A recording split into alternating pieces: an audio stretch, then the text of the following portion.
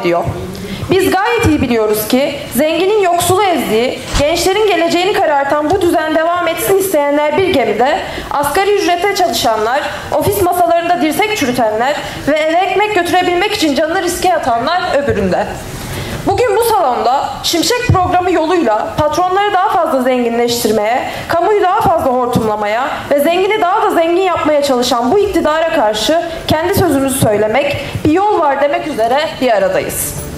Geçtiğimiz ay yayınladığımız ve alanlarda emekçileriyle paylaşmaya devam ettiğimiz Halk için Ekonomi paketi, Türkiye ekonomisinin çöküş sebeplerini derinlemesine analiz eden, bu sebeplerin kısa ve orta vadede nasıl ortadan kaldırılacağına dair çalışmalar yapan, kendisine bilimi ve emekçi dostu bir yaklaşımı ilke edinen, alanında uzman bir heyet tarafından hazırlandı.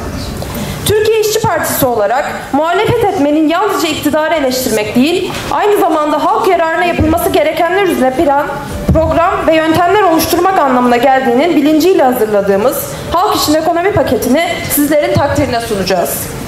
Mevcut talan ve sömürü politikaları ile nasıl mücadele edeceğimizi, iktidarın ve patronların bizden çaldıklarını nasıl geri alacağımızı hep birlikte konuşacağız. İçin ekonomi paketine parti yayınlarımız olan Çarkbaşak ve Komünist'e partimize katılmak için üye masamıza ve çalışmalarımız ile ilgili tüm bilgilere salonun girişinde görevli arkadaşlarımız ile iletişime geçerek ulaşabilirsiniz. Şimdi hep birlikte halk buluşmasının açılış konuşmasını yapmak üzere Kocaeli İl Başkanımız Umutcan Tarcan'ı kürsüye davet ediyorum.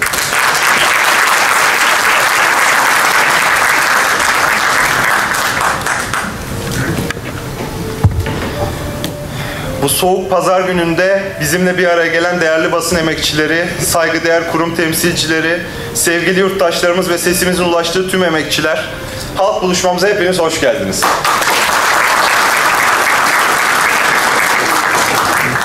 Bugün 15-16 Haziran'ından SEKA'sına, tek elinden karton sanına kadar Türkiye işçi sınıfı tarihinin pek çok önemli direnişine ev sahipliği yapan kentimiz Kocaeli'de AKP-MHP iktidarının emekçi halkı sürüklediği sefalete karşı dayanışmamızı ve mücadelemizi büyütmek üzere toplandık. Bu direniş belleğimizi bugüne ve yarınlara taşıyan ve kentin dört bir yanında düşük ücretlere, sendika hakkının gaspına ve patron hukuksuzluklarına karşı mücadelesi inatla sürdüren Mersen, Bekaert, MKB Rondo ve Betek Boya işçilerini selamlıyorum.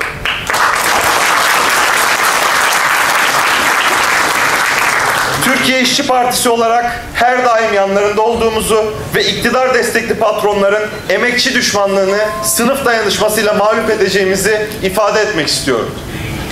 Değerli yurttaşlar, her bir karışı emekçinin alın teriyle bezeli olan kentimiz uzun yıllardır saray rejiminin ve sermayenin saldırısı altında.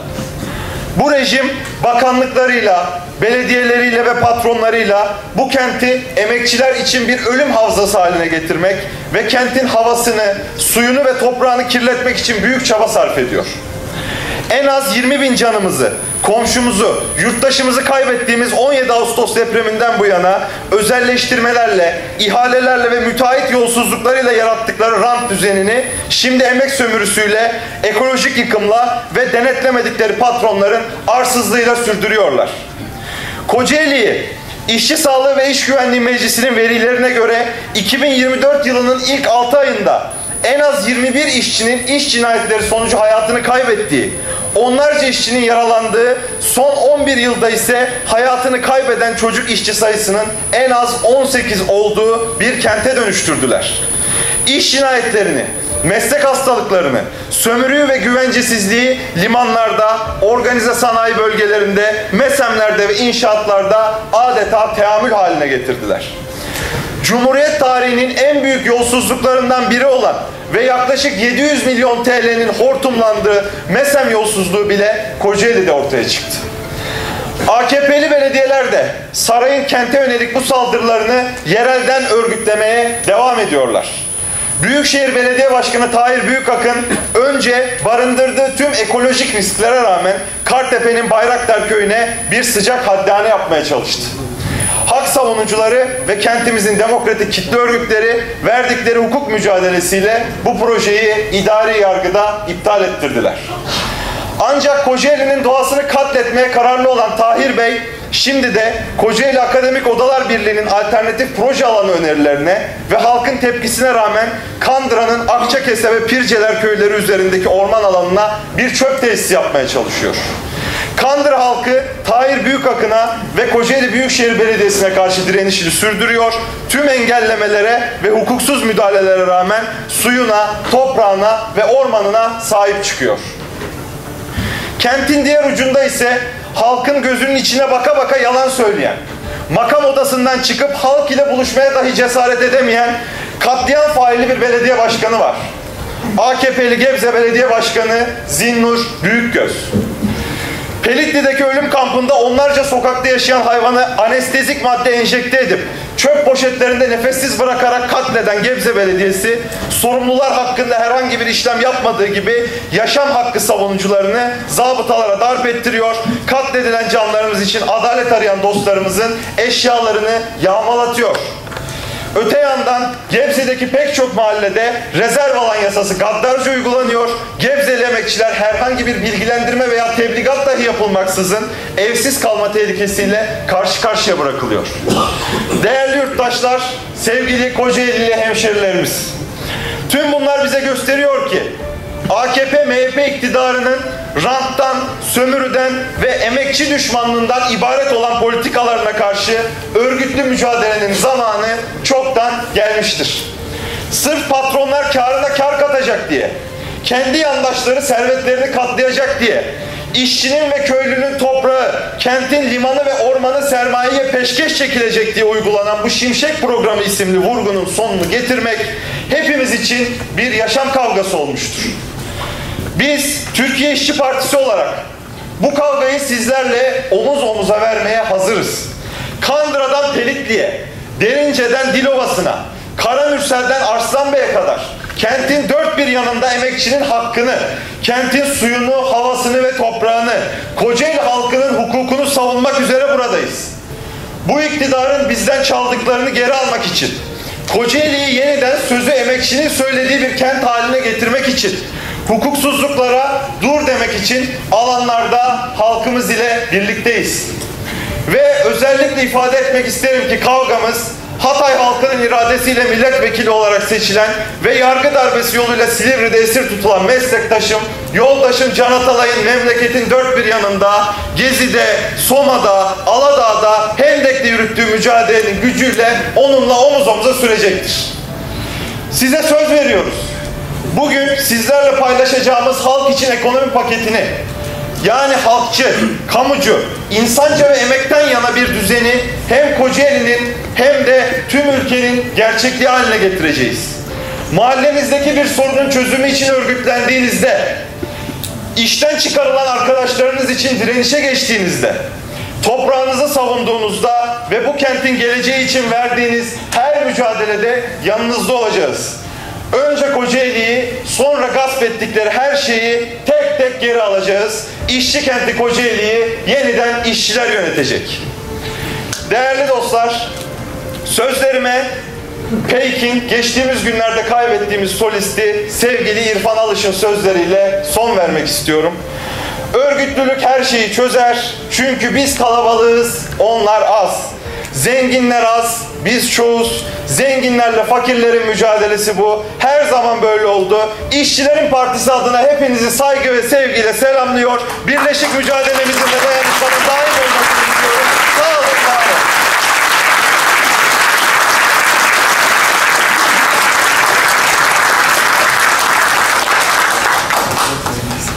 Başkanımıza konuşması için teşekkür ediyoruz. Değerli yurttaşlarımız, halk için ekonomi paketinin önemli bir başlığını kadın emeği oluşturuyor. AKP-MHP iktidarı ataerkil ve gerici politikaları ve her fırsatta dayattığı kutsal aile masalı yoluyla kadınların kendi yaşamı, bedeni ve emeği üzerinde söz sahibi olamadığı bir düzen yarattı. Biz bu düzene isyan ediyoruz. İstediğimiz gibi yaşadığımız, emeğimizin karşılığını hakça aldığımız, cinsel, fiziksel ve psikolojik şiddete maruz kalmadığımız, sırf erkek diye birilerinin üstün tutulmadığı bir dünyanın mümkün olduğunu biliyoruz. Şimdi kadınların özel ve kamusal alanda karşı karşıya bırakıldıkları zorluklar ve bu zorluklara karşı mücadele olanaklarımız hakkında konuşmasını yapmak üzere parti üyemiz Yağmur Ertuğrul'u kürsüye davet ediyorum.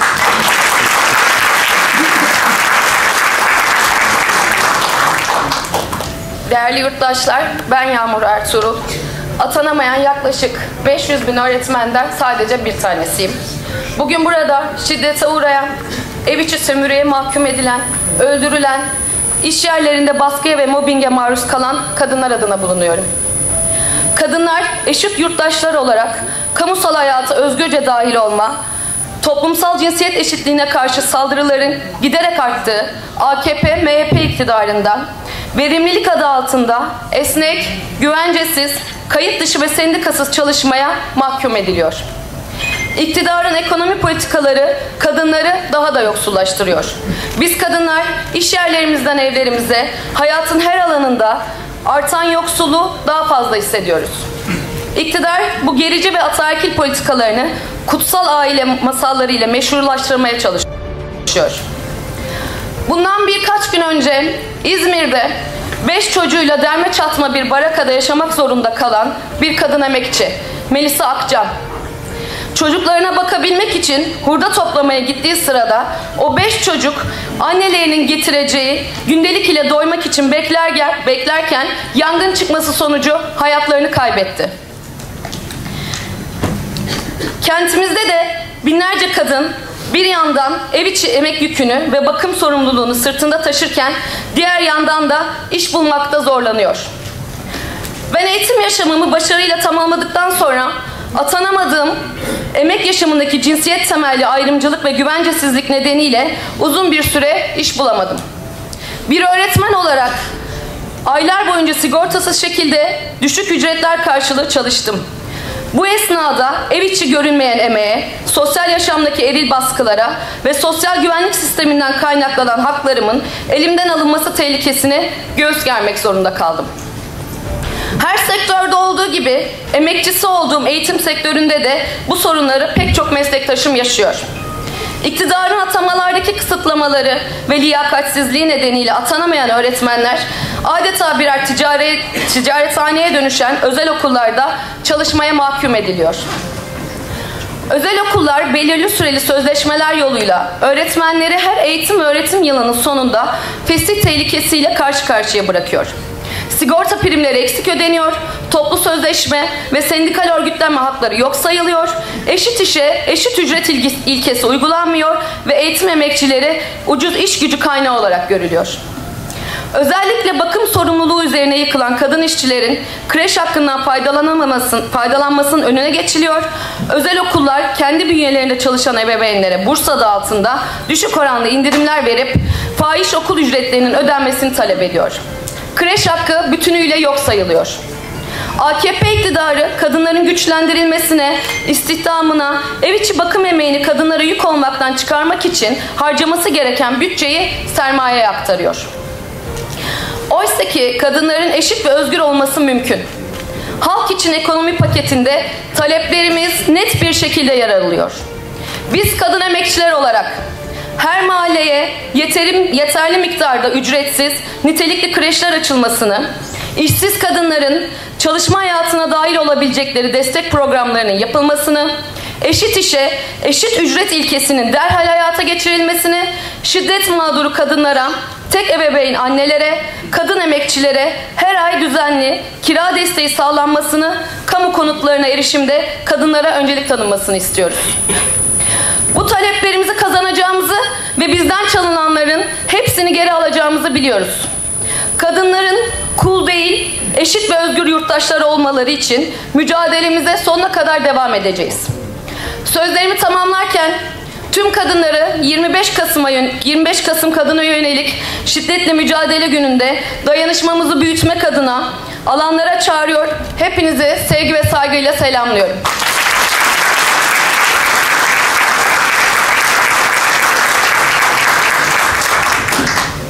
Yağmur yoldaşımıza konuşması için teşekkür ediyoruz. İl örgütümüzün 25 Kasım Kadına Yönelik Şiddetle Mücadele Günü için örgütlenme çalışmaları devam ediyor. Gerek parti olarak gerek ise bileşeni olduğumuz Kocaeli Kadın Platformu ile birlikte gerçekleştireceğimiz eylemlere ilişkin duyurularımızı sosyal medya hesaplarımızdan takip edebileceğinizi hatırlatmak isteriz. Değerli yurttaşlar, Şimşek Programı isimli talan ve sömürü paketi patronların karına kar katarken işçileri yoksullaştırıyor. Çalıştığı sektör fark etmeksizin tüm işçiler ay sonunu getirmekte zorlanıyor. Sendikal ayrımcılık, mobbing ve düşük ücret gibi sorunlar ile mücadele ediyor. Şimdi Kocaeli'deki lastik işçilerinin sorunlarını paylaşmak ve il örgütümüzün emek çalışmasına ilişkin aktarımda bulunmak üzere aynı zamanda Kocaeli İl Emek Sekreterimiz olan lastik işçisi Onur Arslan'ı kürsüye davet ediyorum.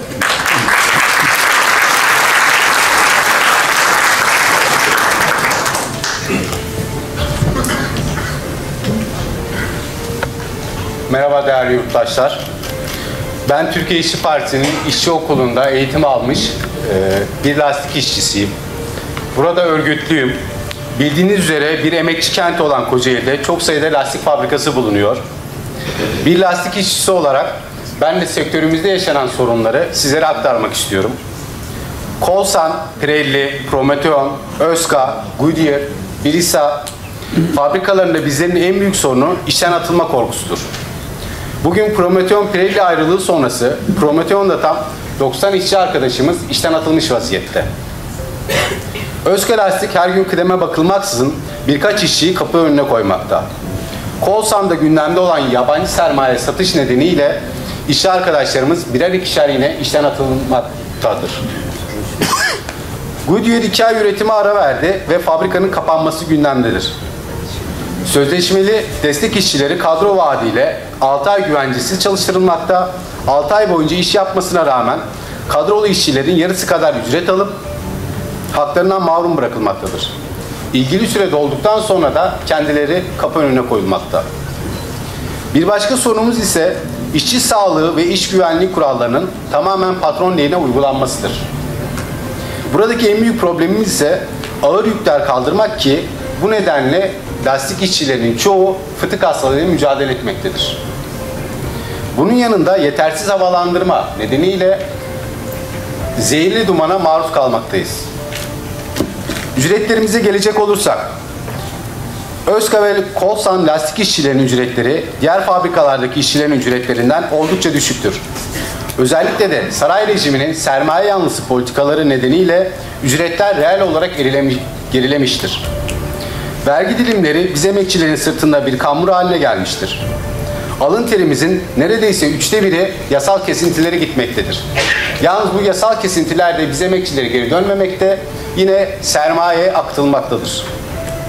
İşte burada bize işçi sınıfının ekonomik mücadelesinde bugün toplanma sebebimiz olan sorunlarımıza kısa vadede çözüm getirecek, kaynak sağlayan halk için ekonomi paketimize karşımıza çıkıyor kamucu, halkçı ve emekten yana bir ekonomi paketi olan Halk için ekonomi paketinin uygulanması için biz işçiler sonuna kadar mücadele edeceğiz. Değerli Kocaeli emekçiler, sözlerime son verirken işçi sınıfının örgütlü bir mensubu olarak kendi adıma önemli gördüğüm bir meseleyi söylemek istiyorum. 3 Kasım'da Türkiye İşçi Partisi 35 farklı sektör ve iş kolundan yüzlerce işçinin katıldığı ve sorunlarını dile getirdiği bir işçi kurultayı düzenledi. Kurultaya katılan arkadaşlarımızın kürsüdeki konuşmaları da gösterdi ki bugün biz emekçiler sermayenin kar hırsından korkmuyoruz. Saray rejiminden korkmuyoruz. Çünkü yaşadığımız herhangi bir sorunda Türkiye İşçi Partisi Kocaeli İl Örgütü'nün yanımızda olacağını, Türkiye İşçi Partisi milletvekillerinin mecliste ve sahada yanımızda olacağını, işçilerin sözünü söyleyeceğini biliyoruz. Aynı zamanda bugün bu salonda yer alan emek ve demokrasi güçlerinin ve siz emekçilerin dayanışmamızla daim olacağını biliyoruz. Teşekkür ederim. Hepinizi sevgi ve saygıyla selamlıyorum.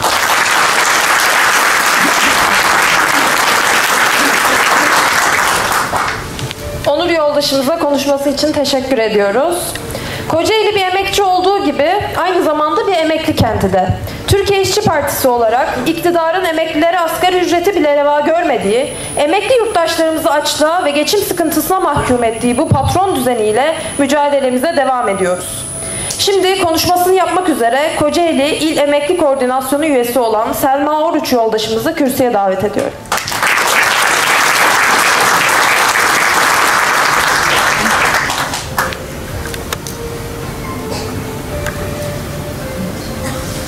Selma Oruç. Kocaeli'deki en az 400 bin emekli yurttaştan biri olarak hepinize merhaba diyorum. Bugün emekliler Kocaeli nüfusunun yaklaşık yüzde 18'ini, Türkiye nüfusunun ise yaklaşık yüzde 17'sini oluşturuyor. İktidarın tamamen yoksulluğa terk ettiği bir sefalet ücreti haline gelen asgari ücreti bile reva görmediği sağlıktan ve sosyal yaşamdan bütünüyle alıkoyduğu emekliler olarak yaşadığımız zorluklardan söz etmek istiyorum.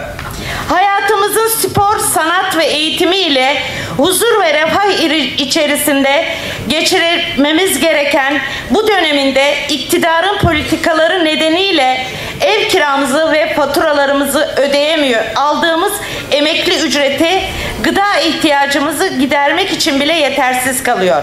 Sağlık problemlerimize rağmen sırf hayatta kalabilmek için ağır ve yıpratıcı işler de çalışmak zorunda kalıyoruz. İktidar sağlık hizmetlerini bütünüyle ticari hale getirdiği için sağlık hizmetlerinden gerektiği gibi faydalanamıyoruz. Eğitim ve gelişim haklarımıza erişemiyoruz.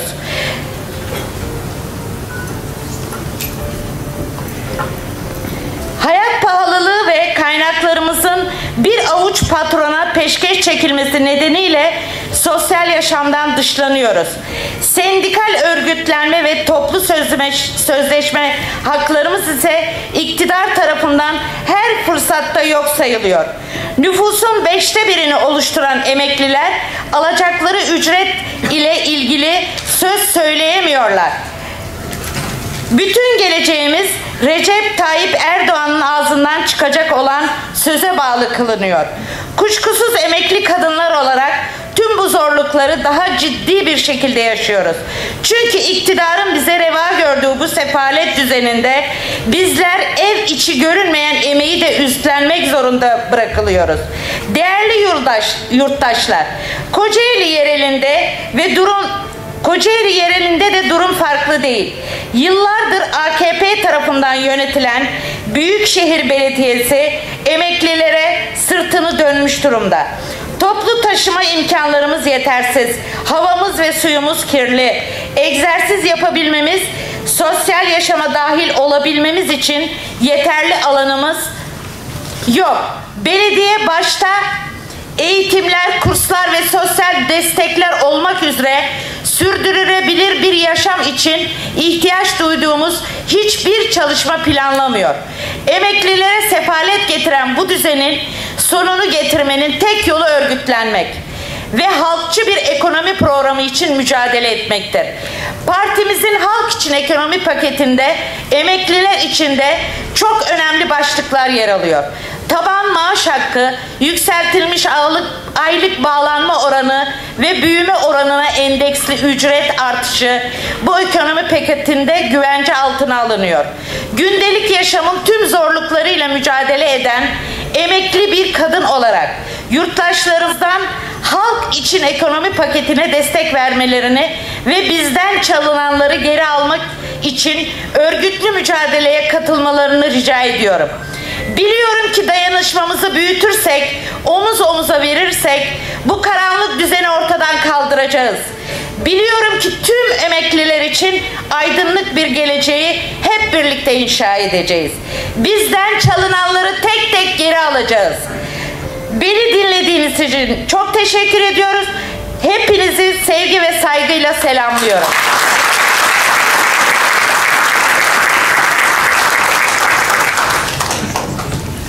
Selma yoldaşımıza konuşması için teşekkür ediyoruz.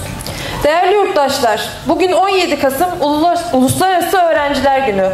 Bu 17 Kasım'dan özel hastane adı altındaki ticarethanelerde bebeklerin katledildiği, öğrencilerin MESEM isimli yolsuzluk projesi yoluyla ölüme ve sömürüye mahkum edildiği, eğitimin gericileştirildiği, gençlerin okulundan, sosyal yaşamından ve akademiden bütünüyle alıkonulduğu bir dönem ile karşı karşıyayız. Bu dönemde tipli öğrenciler olarak sarayın gençlik düşmanı politikalarına ve MESEM ile ÇEDES gibi gerici sömürü projelerine karşı mücadelemizi sürdürüyoruz. Gençlerin yaşamlarını özgürce sürdürdükleri ve layık, bilimsel ve ücretsiz eğitim hakkının güvence altına alındığı bir ülkeyi mutlaka kuracağız. Şimdi konuşmasını yapmak üzere Kocaeli Lise Sekreterimiz Muhammed Dalga yoldaşımızı kürsüye davet ediyorum.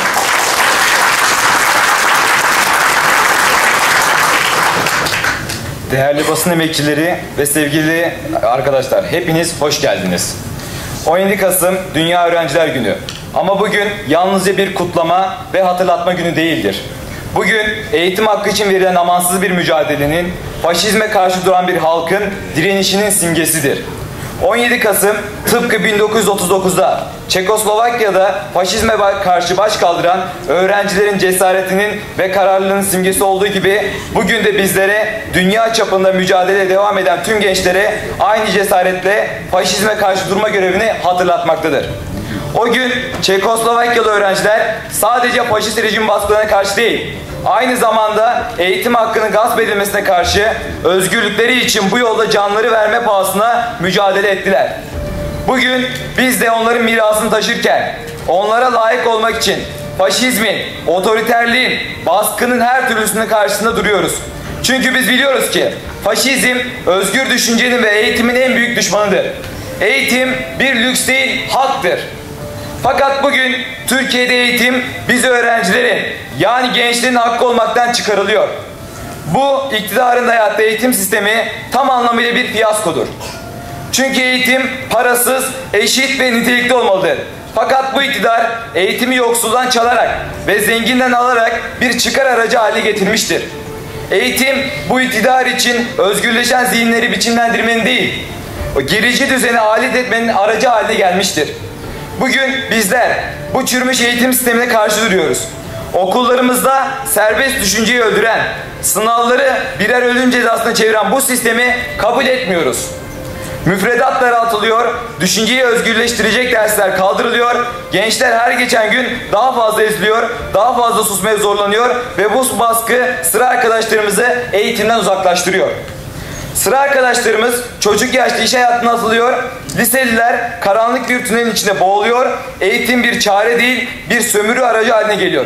Biz buna dur diyoruz. Bugün dünya genelinde birçok ülkede eğitim hakkını yok etmek için çeşitli yöntemlere başvuruluyor. Eğitimdeki adaletsizlikler, sosyal ve ekonomik eşitsizlikler, ülkelerin gençlerini geleceksiz bırakma planları en temel insan hakları ihlalleridir. Faşizm yalnızca silahlarla değil, insanların düşüncelerine, hayallerine, eğitimlerine saldırarak da hayat bulur. Öğrenciler faşizmin önünde hiçbir zaman diz çökmediler, çökmeyecekler. Bu düzenin kurbanı değil, bu düzenin karşısında duran gençleriz bizler. Değerli yurttaşlarım, sıra arkadaşlarım. Bugün Türkiye'de gençlere reva görülen gerçek, eğitimdeki eşitsizliklerin ekonomik adaletsizlikle birleşmesidir. Bugün Türkiye'de her dört öğrenciden biri yoksulluk sınırında yaşamaktadır. Dolayısıyla bizler liseliler olarak sadece eğitimdeki eşitsizliği değil, aynı zamanda ekonomik eşitsizliği de yaşıyoruz. Bugün geçim sıkıntısı çeken ailelerin çocukları okulda başarılı olmak için daha fazla mücadele etmek zorunda kalıyorlar. Okul kitaplarının ücretlerinden servis ücretlerine kadar her şeyin giderek pahalılaştığı, ailelerin geçim zorluğu çektikleri bir dönemde bizlerin geleceği hükümetin bu sorumsuz politikalarıyla tehlikeye atılmaktadır. Yoksul ailelerin çocukları öğrenim hayatlarını bir adım değil süreç içerisinde binlerce adım geriden başlamak zorunda bırakılıyor. Eğitimde özelleştirmenin ve ticarileştirmenin hat safhada olması ve maddi durumları iyi olan öğrencilerin daha iyi okullarda eğitim görmesi ayrımcılık oluşturuyor. AKP MHP iktidarın kurduğu patron düzeni bizi yoksulluğa ve hak kayıplarına sürüklemeye devam ediyor. Şimdi de Türkiye'nin eğitim sistemindeki en büyük travmalarından birine yani MESEM'e değinmek istiyorum. İktidarın dayattığı bu uygulama gençlerin geleceğini karartmaktadır. MESEM, MESEM öğrencilerin geleceğiyle oynayan, eğitimi bir piyango gibi gören bir sistemdir. Eğitim hakkı bir haktan çok lüks bir ayrıcalık gibi sunulmaktadır. MESEM asıl amacından sapmış ve halkın, işçi sınıfının çocuklarını adeta cehalete mahkum eden bir mekanizmaya dönüşmüştür. Bizler bu sistemin içinde her gün daha da kötüye giden bir eğitim sürecine tanıklık ediyoruz. Öğrenciler üniversiteye giriş sınavlarında MESEM yüzünden kaybeden yılların faturasını ödemek zorunda bırakılıyor. Bu bizim hayatımızla oynamaktır ve derhal bundan vazgeçilmelidir. Son olarak üniversitedeki durumu açıklamak isterim.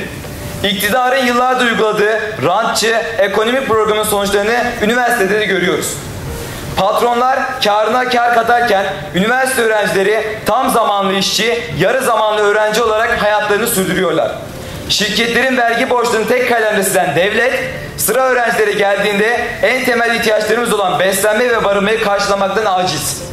Yereldeki üniversite yemekhaneleri şirketlere peşkeş çekiliyor, yemek hizmetini üstlenen şirketler hiçbir şekilde denetlenmiyor.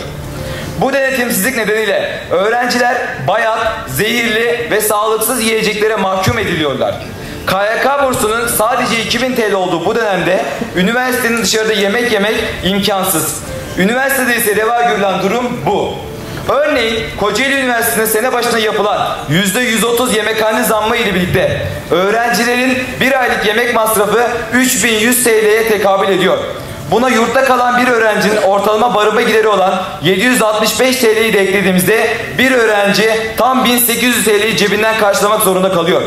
Kendimizi akademik olarak geliştirmek için geldiğimiz üniversitelerde sırf geçinmek için insanlık dışı koşullarda düşük ücretler karşılığında çalışmaya mahkum ediliyoruz. Sıra arkadaşlarımız geçim sıkıntısı nedeniyle okula ara vermek hatta eğitim yaşamını sonlandırmak zorunda kalıyor. Değerli yurttaşlar, sıra arkadaşlarımızı yoksulluğa, açlığa ve ölüme sürükleyen bu iktidar ile hesaplaşmak hepimizin sorumluluğudur. Şimşek Programı isimli sömürü paketi yerine halkçı, kamucu ve tüm gençlerin haklarını güvence altına alan halk için ekonomi paketimizi ve ücretsiz, layık ve nitelikli eğitimi sonuna kadar savunacağız. Geçinemediği, aç kaldığı ve okuluna devam edemediği için yaşına son veren, 2000 TL'lik bursuyla hayatta kalmak için patronların sefalet ücretlerine mahkum edilen, meslemlerde katledilen sıra arkadaşlarımızı asla unutmayacağız. Bir daha tek bir çocuk, tek bir genç bu karanlık düzenin kurbanı olmasın diye daha aydınlık bir geleceği hep birlikte kuracağız. 17 Kasım Dünya Öğrenciler Günü'nde Gençlik Hareketi'nin simgesi haline gelen tüm öğrencileri saygıyla anıyor. Bu mücadelenin ışığında daha özgür, daha eşit bir dünya için mücadele edeceğimizin sözünü veriyor ve sözlerimi Metin abimizin sözleriyle noktalamak istiyorum. Yoldaşlar, arkadaşlar bizi sosyalizmden aşağısı kurtarmaz.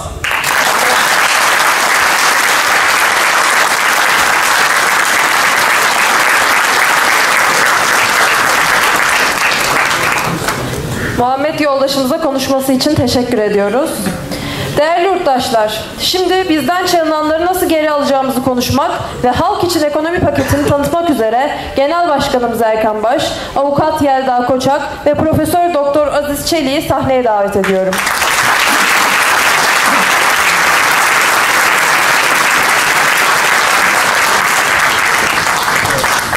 Sorularınızı ekrana yansıtılacak numaramıza mesaj yoluyla ilete- iletebilirsiniz.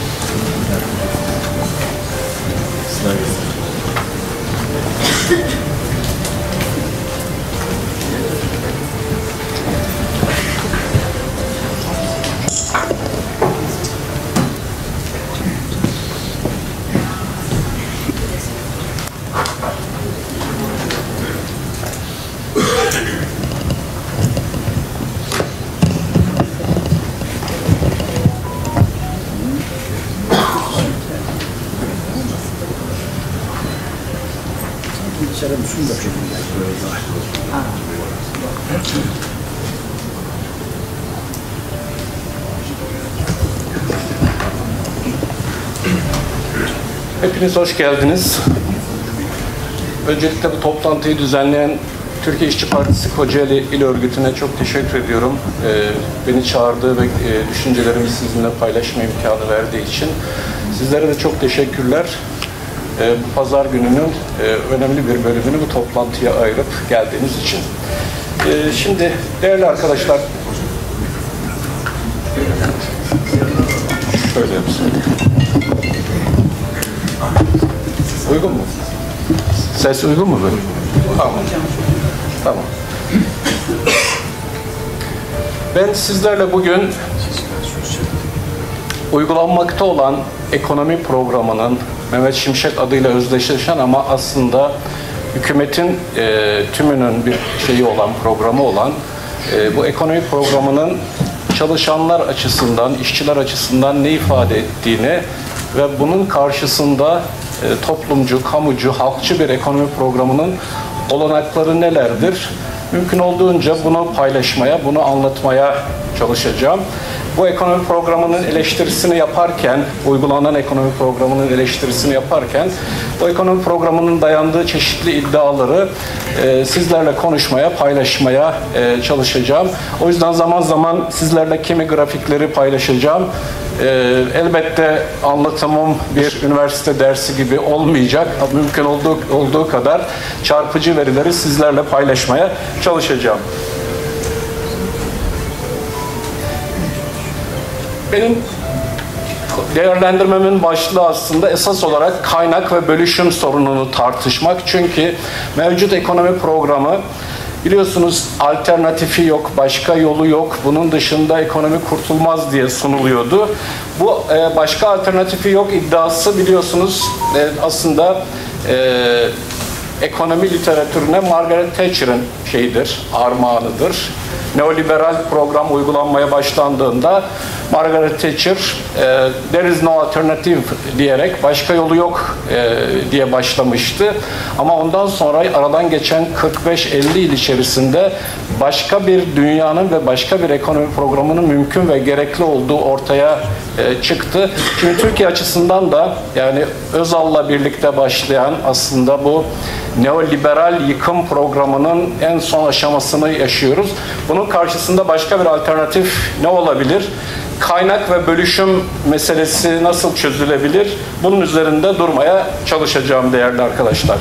Şimdi öncelikle değerlendirme yaparken sık sık bize ekonomi alanında, ekonomi politikaları alanında çeşitli paketler, iddialar, zaman zaman da masallar anlatılır. Buna karşı aslında ger görünenin arkasındaki gerçeği anlamanın son derece önemli olduğunu düşünüyorum. Bunun için de bir perspektife sahip olmak, bir gözlüğe sahip olmak, bir pusulaya sahip olmak bence son derece önemli. Eski İtalya, eski Roma döneminde bir deyim var. Trabzon'u kaybetmemek diye.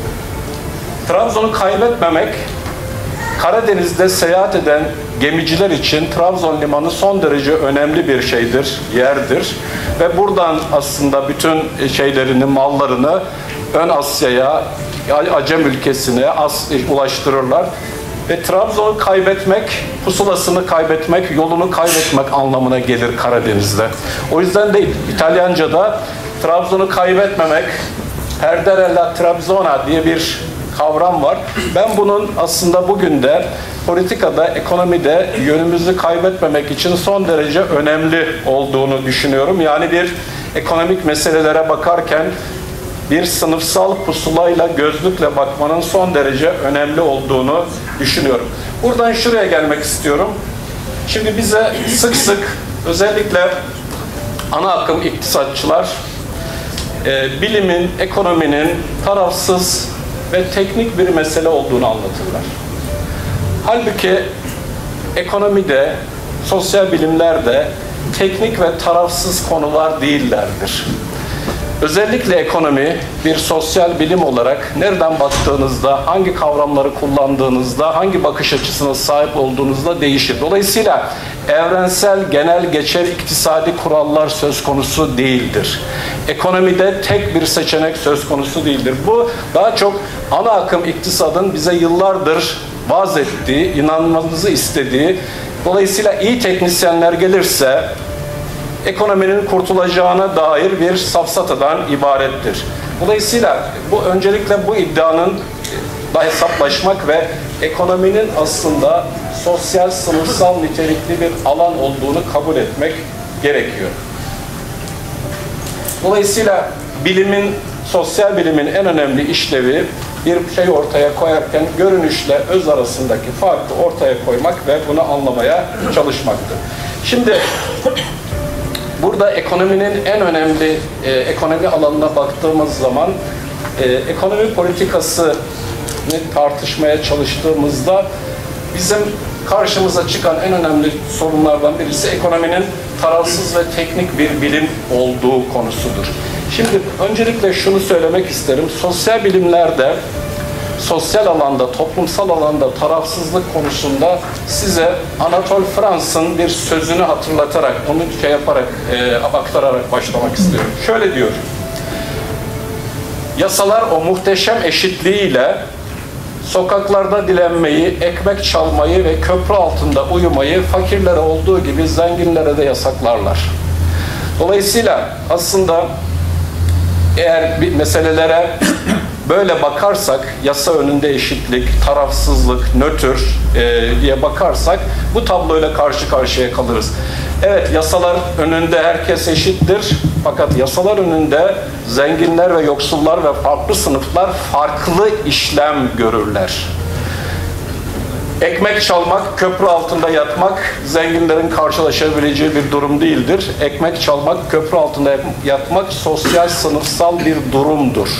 Dolayısıyla bunun eşitlenmesi yasalar açısından e, yurttaşların eşitlenmesi anlamına gelmemektedir. Şimdi Dolayısıyla biz meseleye bakarken sosyal sınıfsal bir perspektifle bakacağız. Türkiye ekonomisine bakarken önce şu gerçekten hareket edeceğiz. Karşımızda Türkiye'nin sosyal ve sınıfsal yapısı var. Türkiye'de ücretle çalışanların, ücretle bağımlı çalışanların oranı toplam istihdamın yüzde yetmişini geçmiş durumdadır. 32 milyon istihdamın 23 milyonu ücretli ve maaşlı çalışan durumundadır. Yani bizim işçi sınıfı adını verdiğimiz topluluktur bu. Bunun ötesinde, bunun ötesinde ayrıca çalışmayla bağlantılı olarak demin kürsüde e, bu konuda bir arkadaşımız da konuştu.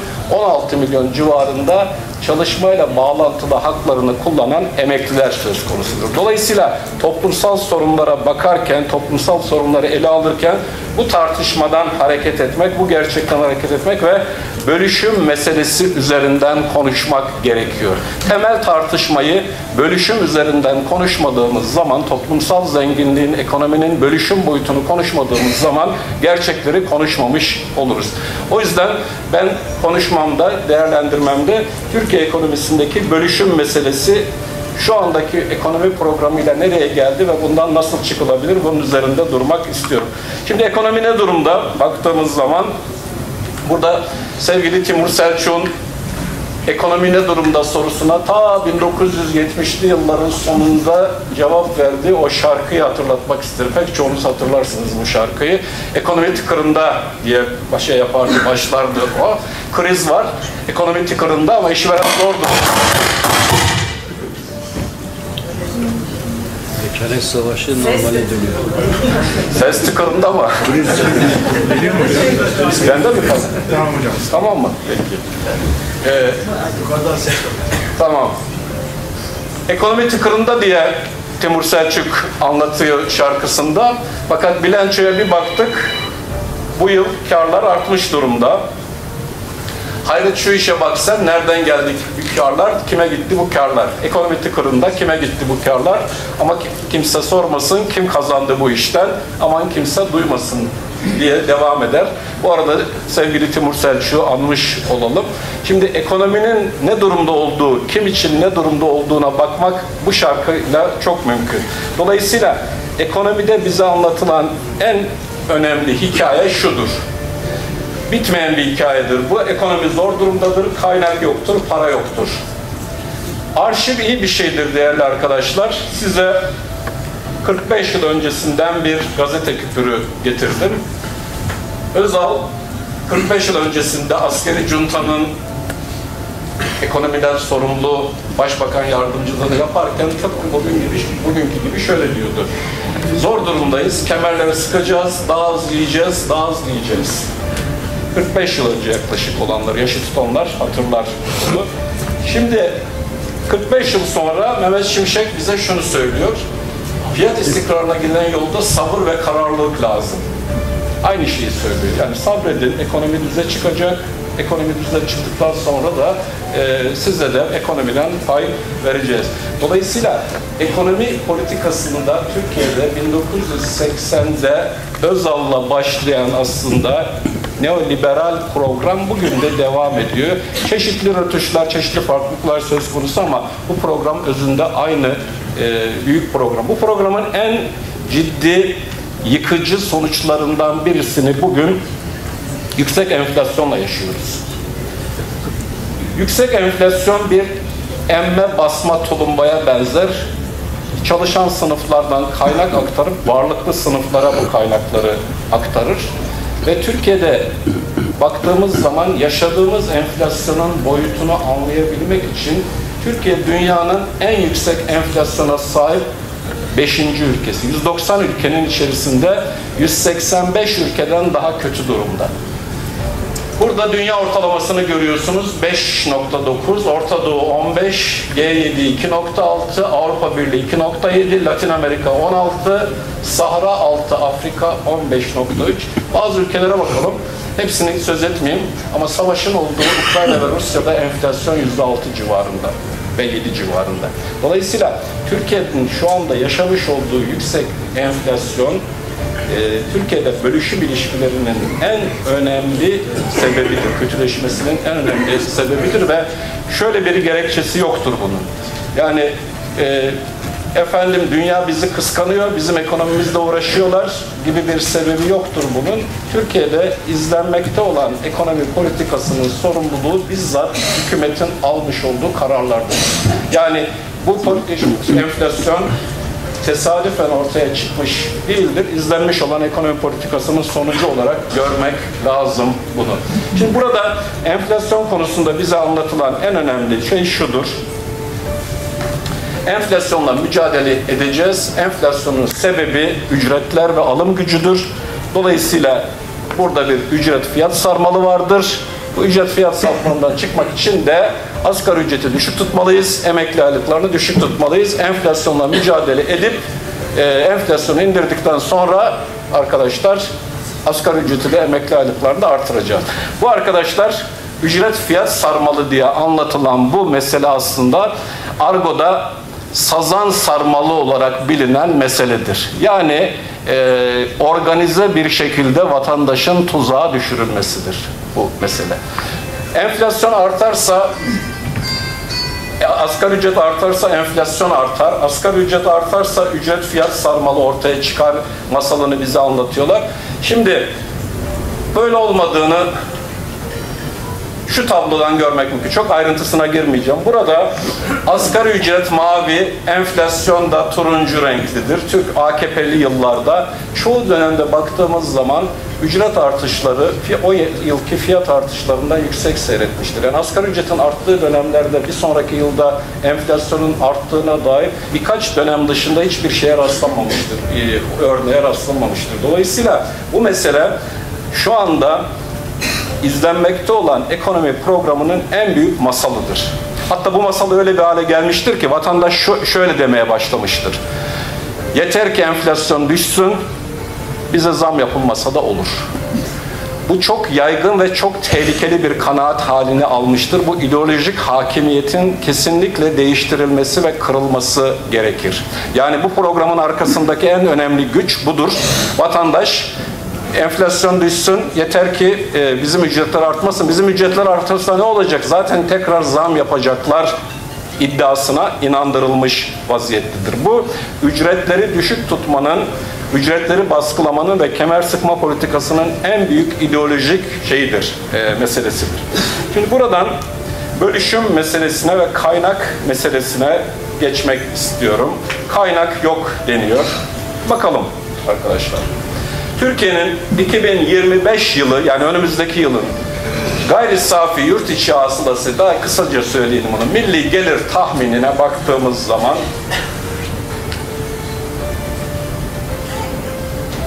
alt- 3, 6, 9, 12 sıfırlı bir şey 60 trilyon Türk lirasıdır.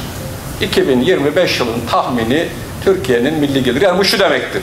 Türkiye'de çalışanlar, üretenler 2025 yılı içerisinde 60 trilyon Türk lirası değer yaratacaklar. Peki bu ne anlama geliyor? Bize sık sık şu anlatılır ya. Efendim kişi başına milli gelir 15 bin dolar, 17 bin dolar filan ne anlama geliyor? Türk parası ne anlama geliyor bakalım. Kişi başına milli gelir 2025 yılında aylık olarak 60 bin TL olacak. Hane başına milli gelir de bir haneye 3,5 kişi olarak şey yaparsak 203 bin TL olacak. Tabii bunun hiçbir şekilde bu tamamen fiktif bir şey, hayali bir şey, hiçbir gerçek karşılığı yok. Yani milli gelir böyle paylaşılmıyor. Esas mesele de zaten, esas mesele de milli gelirin nasıl paylaşıldığına dair bir meseledir. Milli gelirin nasıl paylaşıldığına dair meseledir. Yani kişi başına aylık olarak bu milli gelir hesabıyla 60 bin TL mümkün. Aile başına da, hane başına da 200 bin liradan fazlası mümkün. Ama milli gelirdeki durumumuz biraz şöyledir. Bugün milli gelirden payımıza ne düşmüş? Buna baktığımızda milli gelirdeki payımız bu- burada görüyoruz. Nedir milli gelirdeki payımız? Asgari ücret 17.000 TL. En düşük emekli aylığı 12.500 TL. O da tamamlama işlemiyle, şeyler hariç, dul ve yetimler hariç tamamlama işlemiyle. En düşüğünü bıraktım. Ortalama emekli aylığı 14.500 TL'dir. Ortalamasından söz ediyorum. Yani 16 milyon emeklinin ortalaması 14.500 TL'dir.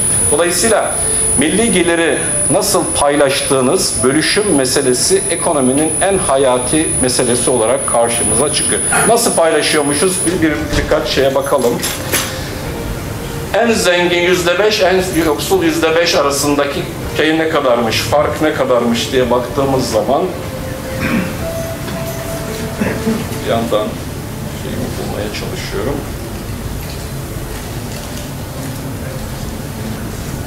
Heh, tamam galiba buldum. Evet. Son 10 yılda baktığımızda en zengin yüzde beş, en yoksul yüzde beş arasındaki fark 19 katken 31 kata çıkmış arkadaşlar. Kaç? Ya en yoksul yüzde beş, 4.2 milyon, en zengin yüzde beş, 4.2 milyon anlamına gelir. Deniyor ya, bu alışverişi kim yapıyor? Bu tüketimi kim yapıyor? Bu tüketimi yapanlar var. Çünkü Türkiye'de en zenginle en yoksul arasındaki fark o sadece 10 yılda 19 kattan 31 kata, 32 kata kadar çıkmış durumda. Dolayısıyla servetin ve gelirin nasıl paylaşıldığı en hayati mesele olarak karşımıza çıkıyor. Nasıl paylaşılıyor bakalım. Bir de servet nasıl paylaşılıyor? Gelir paylaşılıyor da servet nasıl paylaşılıyor? Servet ne? Gelirin birikmiş hali. Gelirin birikmiş hali. Şimdi burada ayrıntıları var, onu geçeyim. Türkiye'de zenginlerin toplumsal servetteki payı ne? Yani birikmiş servetteki payını, zenginlikteki payını, toplumsal üretimdeki payı. En zengin yüzde birin payı 39.5. En zengin yüzde beşin payı 59.2, en zengin yüzde onun payı 60, 70. Esas buna bakmak lazım. Servet çünkü bu. Gelir o yılın dağılımıdır. Servet ise birikmiş gelirdir. Türkiye'de toplumsal açıdan eşitsizliği ele almak, incelemek için bakılması gereken en önemli tablo budur. Yani kaynak değil, kaynağın nasıl paylaşıldığı meselesidir. Yani bölüşüm meselesidir bu. Bir başka şey söyleyeyim size, gene kaynak meselesinde. Yetişkin nüfusun serveti neymiş Türkiye'de? 10 bin dolardan yani yaklaşık 340 bin liradan az serveti olanların oranı yüzde 71. 60 milyon kişi bunlar. 10 bin dolarla 100 bin dolar arasında serveti olanlar yani 340 bin lirayla 3.4 milyon arası serveti olanlar yüzde 27 3.4 milyonla 34 milyon arası yani 100 milyonla 1 milyon dolar arasında olanlar yüzde 2, 1 milyon dolardan fazla olanların oranı binde bir. Yani 8, 85 bin kişi olacak, 850 bin olmuş orada. 85 bin kişi olacak. Servetin dağılımı bu. Dolayısıyla bir servet sorunu, kaynak sorunu söz konusu değil, bunun paylaşım sorunu söz konusu. Dolayısıyla odak noktamızda paylaşım meselesini almak ve paylaşım meselesinden bakmak gerekiyor. Nitekim AKP'li yıllara baktığımızda paylaşımın ne hale geldiğini burada görüyoruz. Buna bazı hocalarımız timsah formasyonu diyor. Şurada timsahın ağzının nasıl açıldığını görüyorsunuz. Özellikle başkanlık rejimine geçildiği dönemden sonra nasıl açıldığını görüyoruz. Yani emek gelirlerinin payının %35 olduğu dönemden bugün %26 olduğu döneme kadar şey yapmış oluyoruz. Ee, geçmiş e, oluyoruz. Dolayısıyla bu timsah kapitalizmini sadece Türkiye genelinde değil, mesela demin lastik fabrikalarından bir arkadaşımız konuştu. Büyük şirketlerde nasılmış bu durum diye baktığımızda 500 büyük şirket Türkiye'nin en zengin şirketleri, en verimli şirketleri bunlar. Bunlara baktığımız zaman sevgili arkadaşlar şunlar maaş ve ücretler, kesik çizgiler, şu da kar ve faizler. Bakın AKP'li yıllara baktığımız zaman faiz, kar ve maaşlar ciddi bir biçimde geriliyor.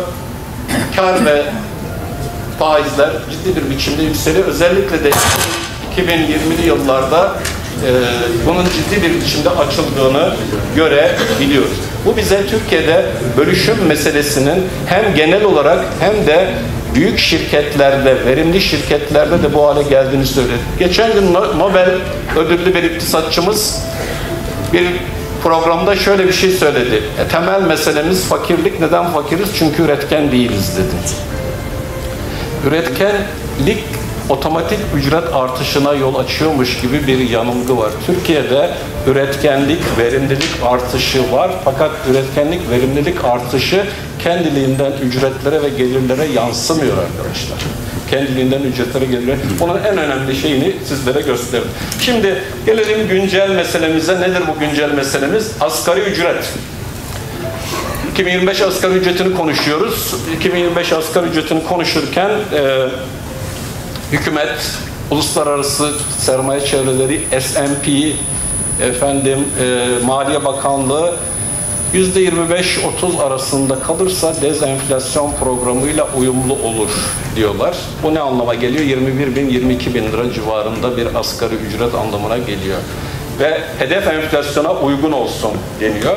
Şimdi şunu özellikle bu meselenin son derece e, ciddi bir biçimde tartışılması ve bunun üzerine gidilmesi gerekiyor. Bu konudaki ideolojik hakimiyetin kırılması gerekiyor. Nedir bu ideolojik hakimiyet? Asgari ücret artarsa, ücretler artarsa arkasından fiyatlara zam yapılır. Asgari ücret artışı hiçbir işe yaramaz. Bu iddia aslında ücretleri artırmamanın arkasındaki en önemli toplumsal şey olarak, sebep olarak karşımıza geliyor. Şimdi burada asgari ücretin bölüşümden aldığı payı görüyorsunuz. Asgari ücretin e, milli gelirden aldığı payı görüyorsunuz. 70'li yıllar yani eski Türkiye 12 Eylül ve ANAP dönemi, koalisyon dönemi ve yeni Türkiye görüyorsunuz burada. Bu grafikte ne görüyoruz?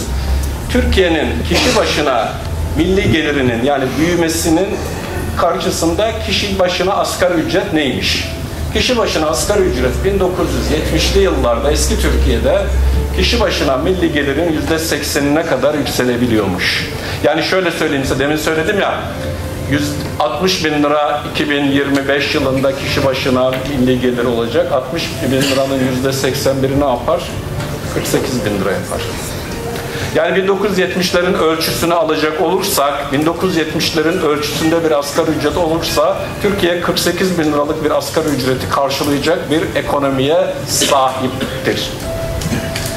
Giderek düşmüş bu.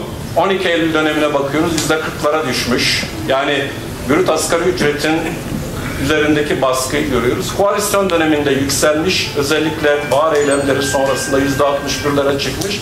AKP döneminde ise iki defa %60'ı bulmuş. Onun dışında %39'a kadar gerilemiş. Şu, anda da %46 civarında.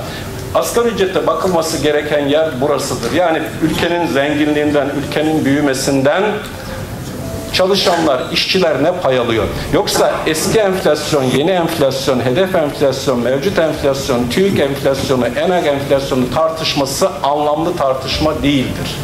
Çünkü enflasyon doğru ölçülmüyor bir, doğru ölçülse bile enflasyon oranında bir ücret artışı tartışması doğru değildir. Çünkü büyümeden, verimlilikten pay almamak anlamına gelmektedir. Asgari ücret tartışmasını yaparken ileri sürülmesi gereken şey şu. Türkiye bir asgari ücretler ülkesi. Ücretle çalışanların yarıdan fazlası asgari ücretle çalışıyor. Yani biz şeyi konuşmuyoruz. Ee, yeni işe giren bir grup gencin ücretini, yeni ücreti konuşmuyoruz. Toplumsal bir ücret konuşuyoruz. Ortalama bir ücret konuşuyoruz. Başlangıç ücreti konuşmuyoruz. Asgari ücret o hale gelmiş vaziyette. Dolayısıyla asgari ücret tartışırken ülkenin genel ücret seviyesini tartıştığımızın farkında olmalıyız ve o yüzden asgari ücret meselesi bir memleket meselesi haline gelmiştir ve halkçı toplumcu bir ekonomi programında asgari ücret meselesi en kritik unsurlardan birini bence oluşturmaktadır. Burada da bölüşüm üzerinden bakmak sadece enflasyon üzerinden değil, bölüşüm üzerinden bakmak gerektiğini düşünüyorum. Şimdi bir de meşhur meselemize gelelim. Emekli aylıkları. Tabii emekliler olmasa aslında yani bir asgari ücrete zam yapmasak, ikincisi de emekliler olmasa Türkiye'nin e, şu andaki dezenflasyon programı gayet başarılı olarak uygulanabilir. Çünkü emekliler özellikle de EYT'liler çok büyük yük oluşturdu şey üzerinde biliyorsunuz. Ekonomiyi batırdı. Ekonominin bugüne gelmesinin temel sebebi e, emekliler haline geldi. Sanırsınız ki Türkiye'de emekliler için bütçeden, hazineden ayrılan kaynaklar devasa kaynaklar ve bunlar da giderek son birkaç yılda yükseldi. Acayip işler oldu Türkiye'de. Şimdi bakalım.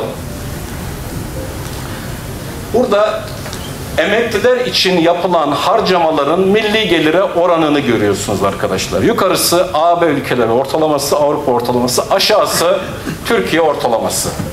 Baktığınız zaman Avrupa'da bu 8'lerden başlayıp şu anda 10'lara 9.5'lara çıkmış. Türkiye'de 4.9'dan biraz 6'ya kadar çıkmış. En yüksek olduğu yer 6. Şu anda da 4 civarında. Yani Türkiye emeklilerine emeklilerine milli gelirinin %4'ü kadar hükümet harcaması yapıyor. Hükümet harcaması yapıyor ve bu düşüyor. Bakın bu düşüyor burada. Dolayısıyla bize kaynak yok, para yok ve benzeri şeyleri söyledikleri zaman aslında burada bize gerçek anlatılmıyor arkadaşlar. Bize gerçek anlatılmıyor. Emeklilik meselesinin, emekli meselesinin en çarpıcı hususu şu tabloda görüyorsun. Türkiye'de emekli sayısındaki artışa baktığımız zaman son 10 yılın emekli sayısı 100'den 143'e kadar çıkmıştır emekli sayısı. Ancak emekliler için bütçeden sosyal güvenlik kurumuna ayrılan paylar, demin milli geliri söylemiştim. Şimdi bütçeden ayrılan paylara bakalım. Yüzde yirmilerden, bakın yüzde yirmiler, yüzde on ikilere gerilemiştir. Yüzde on. Şuraya bakın, EYT yılına bakın. Yüzde on üç, yüzde on üç. EYT'nin herhangi bir yük oluşturduğunu kanıtlayacak herhangi bir veri söz konusu değil. Yani bunlar daha çok şunun için yapılan işler emeklilere gerçek bir artış yapmamak için emekli aylıklarını, emekli dur emeklilerin durumunu düzeltmemek için bölüşümden, bütçeden daha fazla kaynak ayırmamak için ileri sürülen iddialar bunlar. Bu iddialar karşısında e, dikkatli olmak ve bu iddialar karşısında kendi verileriyle karşılarına çıkmak gerekiyor. Bakın bu meclise sunulan 2025 bütçe gerekçesinin yani Cumhurbaşkanlığı Strateji Bütçe Başkanlığı'nın meclise sunduğu şu anda da konuşulmakta olan 2025 bütçe e, gerekçesinden alınmış bir tablo. Sosyal Güvenlik Kurumu'na bütçe transferleri. Şimdi kim çıkıyorsa bugün AKP'nin grup başkan vekili, Maliye Bakanı herkes çıkıyor diyor ki Emekliler yüzünden, EYT'liler yüzünden ekonomi battı, bütçe delindi vesaire vesaire. Arkadaşlar bu Cumhurbaşkanlığı Strateji Bütçe Başkanlığı'ndan aynen fotoğrafını alıp koydum buraya. Bakın 2007'de bütçe transferi yüzde 16, 2019'da yüzde 19, 2020'de yüzde 24, 2022'de yüzde 13, 2023'de yüzde 13.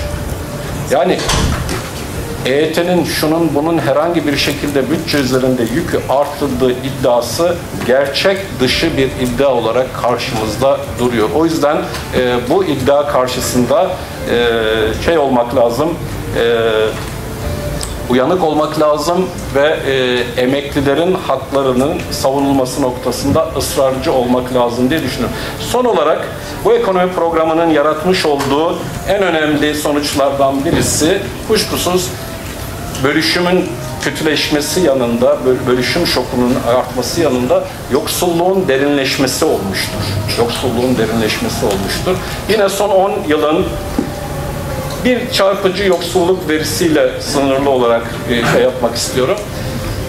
Burada biliyorsunuz Türkiye'de sosyal güvenlik sistemini ikiye ayırdılar. Primli sisteme Çalışma Bakanlığı, primsiz sisteme Aile ve Sosyal Hizmetler Bakanlığı bakıyor ve primsiz sistem büyük ölçüde bir müşteri ilişkisi gibi yürüyor.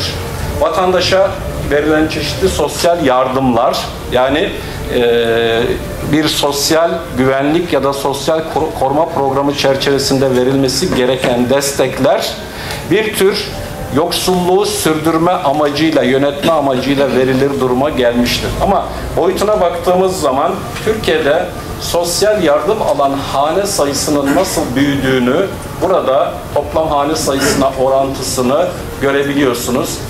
Toplam hane sayısına oranı %15'lerden 20'lere çıkarken gayri safi yurt içi hasıladan sosyal yardımlara ayrılan payın gerilediğini şey yapabiliyoruz, düşünebiliyoruz. Şimdi bu, bu bütün bu tablodan sonra benim böyle bir ekonomi programı karşısında yani bir sosyal yıkıma yol açan bir ekonomi programı karşısında en önemli yolun ben toplumun örgütlü gücü, çalışanların örgütlü gücü yani sendikalaşma ve toplu pazarlık olduğunu düşünüyorum. Böyle baktığımız zaman Türkiye'de sendikalaşma ve toplu pazarlık durumu nedir ve bu konuda ne yapılmalıdır? Kısaca onun üzerinde şey yapıp topar, e, konuşmamı toparlayacağım. E, şimdi Türkiye'de sendikalaşma ve toplu pazarlık yeri konusunda sendikalaşma ve toplu pazarlık yerine asgari ücret verelim diyor hükümet. Yani sendikalaşmayı ve toplu pazarlığı arttırmak yerine, bunun kapsamını genişletmek yerine, sendikal hakları güçlendirmek yerine bunu veriyor. Şu anda Türkiye'de toplam 18 milyondan fazla işçinin sadece 1.9 milyonu toplu sözleşme kapsamındadır ve bunların önemli bir kısmı da kamu sektöründedir. Dolayısıyla Türkiye'nin sendikalaşma ve toplu pazarlık tablosu maalesef örgütlü bir toplum olmanın, örgütlü mücadele yürütmenin çok uzağındadır. Özellikle özel sektöre baktığımız zaman toplu sözleşme kapsamı son derece sınırlıdır. Yani işçi sınıfının örgütlü gücünün zayıflığı bu ekonomik programının uygulanmasının, uygulanabilmesinin en önemli sebebi olarak e, karşımıza e, çıkıyor. Burada da en önemli silahlardan birisi, işçi sınıfının en önemli silahlarından birisi olan, araçlarından birisi olan grev hakkının işlevsiz hale getirilmesinin bu tabloda son derece önemli bir rol oynadığını e, düşünüyorum. Bu, burada da Türkiye'de son yıllardaki grev eğilimine baktığımız zaman özellikle AKP'li yıllarda grev eğiliminin nasıl ciddi bir biçimde düştüğünü yani grev hakkının kullanılamaz hale getirildiğini e, altını çizmek e, gerekiyor. Çünkü işçi sınıfının bölüşüm mücadelesindeki en önemli aracı ya da çalışan sınıfların en önemli aracı bu bölüşüm mücadelesinde sendika, toplu pazarlık ve grev haklarının kullanılabilir olmasıdır. Türkiye'de sendikalaşma düşük, toplu pazarlık kapsamı düşük ve grevlerin kullanılabilmesi, grev yoluna başvurabilme olanakları son derece zayıf. Bu konudaki son şeyim şu e, size grev hakkıyla ilgili olarak. Bakın burada Adalet Kalkınma Partisi'nin grev hakkına yaklaşımının aslında veciz bir özetini görüyoruz. greve çıkabilen işçi sayısı 2010, 2003 ile 2023 yılları arasında 90 bin civarındadır. Sadece 1980 yılında e, 9 ayda sadece 1980'in 9 ayında 70 binden fazla işçi greve çıkmıştı. Yani işçi sayısının çok az olduğu bir dönemi düşünün. Ee, ve toplam 22 yıllık dönemi düşünün burada. Grevi ertelenen işçi sayısı ise 195 bini geçmiş e, durumdadır. Dolayısıyla grev hakkına başvurulmasını da sistematik bir biçimde engelleyen bir e, şeyle, rejimle karşı karşıyayız. Dolayısıyla e, sözlerimi tamamlayacak olursam şunu söyleyebilirim. Ne yapmalı? Bu ekonomi programı karşısında yani bir toplumsal yıkıma yol açan bu ekonomi programı karşısında bir birleşik örgütlü bir muhalefete ihtiyaç olduğu kanaatindeyim. İkincisi de özellikle işçi sınıfının örgütlü gücünün ve örgütlü imkanlarının kullanılması gerektiği kanaatindeyim.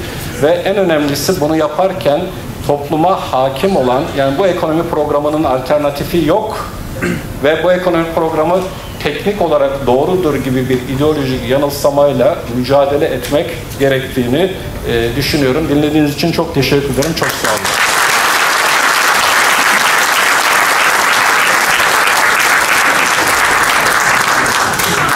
Böyle başladık, böyle devam ediyorsunuz. Ha? Uygun ses herhalde değil mi? Biraz daha yakın.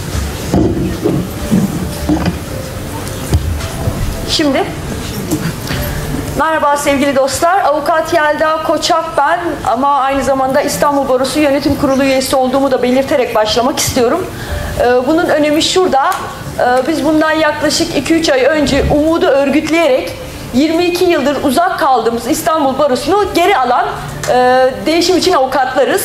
Ee, Bu umudu sizinle paylaşarak paylaşarak başlamak istedim. Çünkü aslında biz e, en geniş e, halkçı, demokratik, insan haklarına dayanan cepheyi kurabildiğimizde, örgütlenebildiğimizde ve umudumuzu yitirmediğimizde e, bizden alanları geri alabiliyoruz. Bu bizim somut bir kazanımımızdı ve bizim için çok önemli. AKP ile neredeyse aynı yaşta e, İstanbul Barosu'nu ele alıp yöneten ve her geçen dönem e, bir öncekinden daha gerici, daha halktan kopuk, daha işçi, yoksul, genç avukatlara gözünü kulağını kapattığı gibi halkın, yurttaşların, emekçilerin hak taleplerinden de uzaklaşan bir baro yönetimimiz vardı. Ve biz değişim için avukatlar olarak buna dur diyelim dedik ve e, kaybettiğimiz baroyu 22 yıl sonra geri aldık. Şimdi halk için ekonomi politikasını konuşurken adaleti konuşmamak olmaz.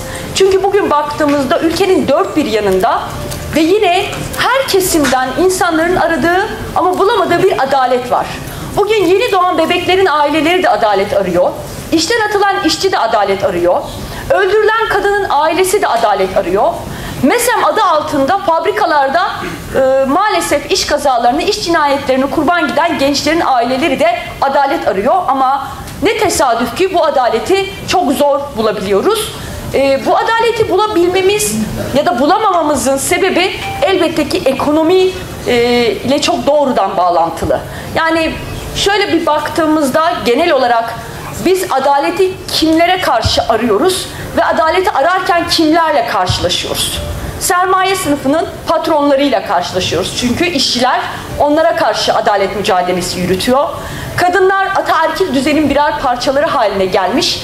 Bir zamanlar evlerimizin içinde en yakınlarımız olan eşlerimiz, kocalarımız, babamız, abimiz olan erkeklere karşı adaleti arıyoruz. Yine gençler kimlere karşı adaleti arıyor? en basitinden e, yemekhane zammını bile yapıp ya da yurt ücretlerini arttıranlara karşı, öğrencileri yurttan atan rektörlere karşı, iktidarın atadığı rektörlere karşı adaletini arıyor. E, peki bu adaletsizlik içerisinde suç oranları neden artıyor ve veya bir yandan da biz adaleti ararken bir yandan da neden sürekli suçluluk, hırsızlık, gasp, dolandırıcılık gibi e, suçlar artıyor. Bunu da düşünmemiz gerekiyor. Bu da ekonomiyle doğrudan bağlantılı. Yani emeği değerleştirirseniz, emeği işçinin çalışarak düzenli ücret, güvenceli işte çalışan biri emeğin karşılığını alamazsa ve yeni nesil gençler, yurttaşlar bunu her geçen gün gözünün içine soka soka görürse bu sürelerde çetelerin kolay para kazanabilmek, uyuşturucu, bahis e, ve çeşitli suç örgütlerinin e, gençleri de yurttaşları da kendi birer elemanı haline getirip kısa yoldan para kazanma vaadinde bulunarak bir suç dünyasına dönüştürmelerine de tanık oluyoruz. Tesadüf değil dünyanın bütün kara para aklayıcılarının ya da büyük uyuşturucu çete baronlarının son yıllarda Türkiye'de lüks plazaların e, ara katlarında, üst katlarında e, Türkiye kimlikleriyle, vatandaşlık kimlikleriyle bulunup en sonunda her gün haberlerde gördüğümüz gibi özel operasyonlarla yakalanmaları. Çünkü Türkiye artık bir suç cennetine dönüştürülmüş durumda. Niçin? Aynı zamanda emeğin, işçinin e, emeğiyle para kazanmanın değersizleştirildiği bir ülke olduğu için. Adalet ve suç bağlantısı yani ekonomik e, sıkıntılarla bu bağlantıyı görmemiz ve bu adaletsizliğe karşı da mücadele etmemiz gerekiyor. Peki bu bütün suçlular bu kadar rahat gezerken, suçlar işlenirken ya da bu e, suç oranının suçluların korunup kollandığı durumda yargı mekanizması neden bu kadar? Bu hakimler mi çok kötü? Hayır. Bu tamamen aslında siyasal iktidarın böyle bir düzeni tes- tercih etmesinin bir sonucu. Bu düzenden çünkü bu iktidar da faydalanıyor bu o, araçla baskıyı da herkesin üstündeki baskıyı da arttırarak kendi varlığını sürdürüyor. Peki bu adaletsizlik düzeni içerisinde işçilere, iş hukuku bağlamında, emekçilerin gelir durumu bağlamında payına düşen ne oluyor? Payına düşen de hepinizin belki de bir kez karşılaştığı, duyduğu, çevresinde duyduğu bir husus var. Güvencesiz çalışmanın bir yanında yeni getirilen yargının özelleştirilmesi usulü olan arabuluculuk. Arabulucu nedir, ne değildir artık işçiler özellikle e, emeğiyle çalışan işçiler dava açmadan emeğiyle e, kazandıklarını gasp edildiğinde yargı yoluna başvurmadan başvurmak zorunda oldukları bir mekanizma. Yani önce gidin arabulucuda anlaşın diyor. Çok kısaca söyleyeyim arabulucu yargının özelleşmesidir. Patronların, iktidarın, sermayenin ulusal mahkemelerle e, işçi lehine yorum yapmak zorunda olan mahkemelerle, hakimlerle uğraşmamak patronun payını arttırıp işçinin payını azaltmanın e, pazarlık yoluyla tesis edildiği bir düzendir ve işçiler, iş hukukunda emekçiler bununla maalesef karşılaşmakta. Peki tek sorunumuz sadece arabuluculuk mu? Hayır. Tek sorunumuz artık belirli süreli iş sözleşmeleriyle, kısmi süreli iş sözleşmeleriyle, çağrı üzerine çalışma iş sözleşmeleri gibi çeşitli şekillerde isimlendirilen atipik sözleşmeler dediğimiz güvencesiz ve düzensiz çalışma usulleriyle de karşımıza çıkıyor. Bizim bildiğimiz bir tane sözleşme vardır. O da işçi ve işveren arasında belirsiz süreli yapılan sözleşme. Ama her geçen gün mevzuata, yönetmeliklerle, kanun değişiklikleriyle ya da hiçbir şey yapamasalar bile üst mahkeme yorumlarıyla, ilkeleriyle, yargıtay kararlarıyla konulan bir düzensiz, güvencesiz ve işçi aleyhine çalışma sistemi tesis edilmekte. Bundan yıllar önce baktığınızda belirli süreli, belirsiz süreli sözleşme dediğimiz sözleşmeler işçi aleyhine o kadar çok çeşitlendiriliyor ki bunlara karşı mücadele etmek de bizim yine bu ekonomi politikası içerisinde adaletle bağlantılı bir e, başlığımızdan biri. Şimdi e, iş hukuku bağlamında sürekli gündeme getirilen ve AKP'nin iyice ülkeye yerleştirdikten sonra sık sık dile getirdiği kıdem tazminatı hakkının gaspı. Kıdem tazminatını bir fona dönüştürmeye çalışıyorlar ama hepiniz benden çok daha iyi biliyorsunuzdur ki bu ülkede bir fon kuruluyorsa, bir yer bir yere aktarılıyorsa o fonlar hiçbir zaman emekçilere bir fayda sağlamıyor. Bakınız işsizlik fonu. Bugün işsizlik fonundan işten çıkarıldıktan sonra faydalanabilen işçi sayısı 100 kişiden 5 ya da 10 değildir. Çünkü artık o kadar keyfi ve e, düzensiz işten çıkarma söz konusu oluyor ve işten çıkarıldıktan sonra işçi işsizlik ödeneğinin bağlanabilmesinin koşulu patronun beyanına bağlanıyor. Yani patron ben sizi e, eski 29 belki şimdi 46-49 hırsızlık, e, işe gelmeme, devamsızlık gibi gerekçelerle attıysam siz artık işsizlik fonundan işsizlik maaşı bile alamıyorsunuz. Bu nedenle AKP'nin süslü paketlerle getirmeye çalıştığı, meclisten geçirmeye çalıştığı her iş hukukuna ilişkin düzenlemelerin ardından biz birazcık kazıyınca işçi aleyhine, emekçi aleyhine, işçilerin var olan haklarının gasp edilmesine dair e, düzenlemeler olduğunu e, çok rahatlıkla görebiliyoruz. Buna dair mücadelenin yürütülmesi gerekiyor. E peki buna dair mücadeleyi yürütürken biz neyle karşılaşıyoruz? Mahkemelerle, hukuki mücadeleden bahsediyorum. Yani grev hakkında Aziz Hocam bahsetti, toplumsal mücadelelerle ama yargı ayağına dönüp baktığımızda da uzun süren, 4-5 yıl süren yargılamalar, mahkemeler, sonra enflasyon karşılığında eriyip giden tazminatlarımız, eriyip giden ücret alacaklarımızla karşılaşıyoruz. Bunlar tesadüf değil. O hakimler, savcılar kötü insanlar oldukları için, bireysel olarak kötü insanlar oldukları için değil. Onlar bu sistemin e, yapmaya çalıştığı, uyguladığı, koy, önlerine koyduğu politikayı uyguladıkları için biz böyle sonuçlar alıyoruz. Yani hiçbir iş mahkemesi kararının iki yıl yerel mahkeme, iki yıl istinaf, iki yılda Yargıtay'da bekleyip ortalama 5-6 yılda geri dönmesi tesadüf değil ya da oradaki hakimlerin isteği değil. Bizzat devletin uyguladığı politikanın ve böyle olmasını istediği bir düzenin, bir sistemin sonucu olarak karşımıza çıkıyor. Bunun da alternatifi olarak başta da bahsetmiş olduğum ara buluculuğu önümüze koyuyorlar ki 100 bin lira hak ettiğin alacağını 5-6 yıl sonra zaten enflasyonun karşılığında erimişken e, alacağına baştan patron veriyor sana 20-30 bin kabul et bununla yoluna devam et dayatması yani esasında işçiye emekçiye iş hukuku alacakları bağlamında da ölümü gösterip sıkmaya razı etme süreci var. E, bunun karşısında da hani e, bunu tekrar söylememe gerek yok ama genel olarak sendikal mücadele, örgütlü mücadele ve yılmadan umudu örgütlemek kazandırıyor. Tekrar kendi örneğimizden e, hatırlatarak söylemek isterim. E, tabii sadece bu pozitif örnek bizim baroyu kazanma süreci değil. Biraz sonra daha ayrıntılı anlatacağım. Kadın hakları alanında da e, gördüğümüz, tesis ettiğimiz bir alan.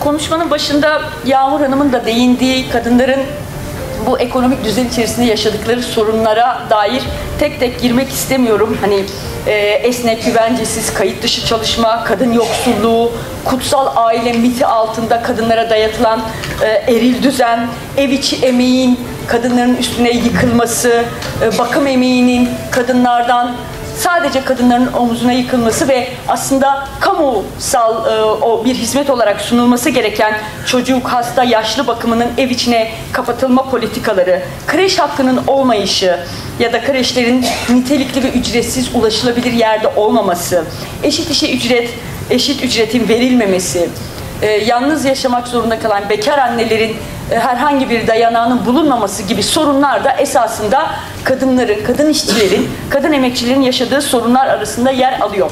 Peki sadece bunları mı yaşıyoruz biz kadınlar olarak?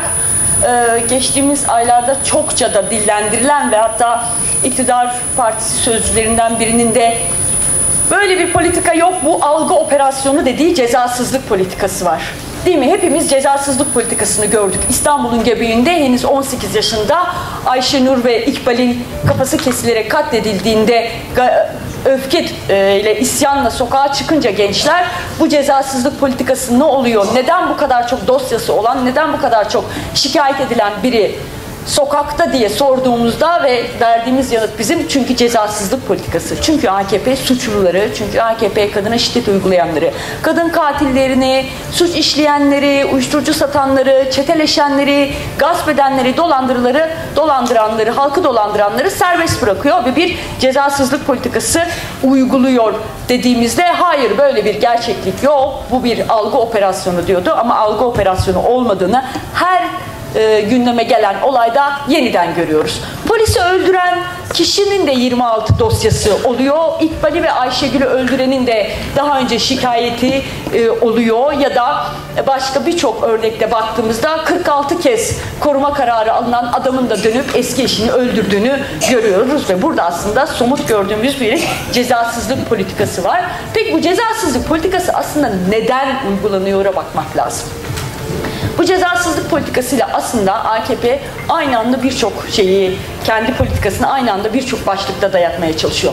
Bir yandan kutsal aile miti ile kadınları ev içinde tutmaya çalışıyor. Yani tesadüf değildir o saatte orada ne işi vardı sözünün bu kadar yüksek sesle söylenmesi.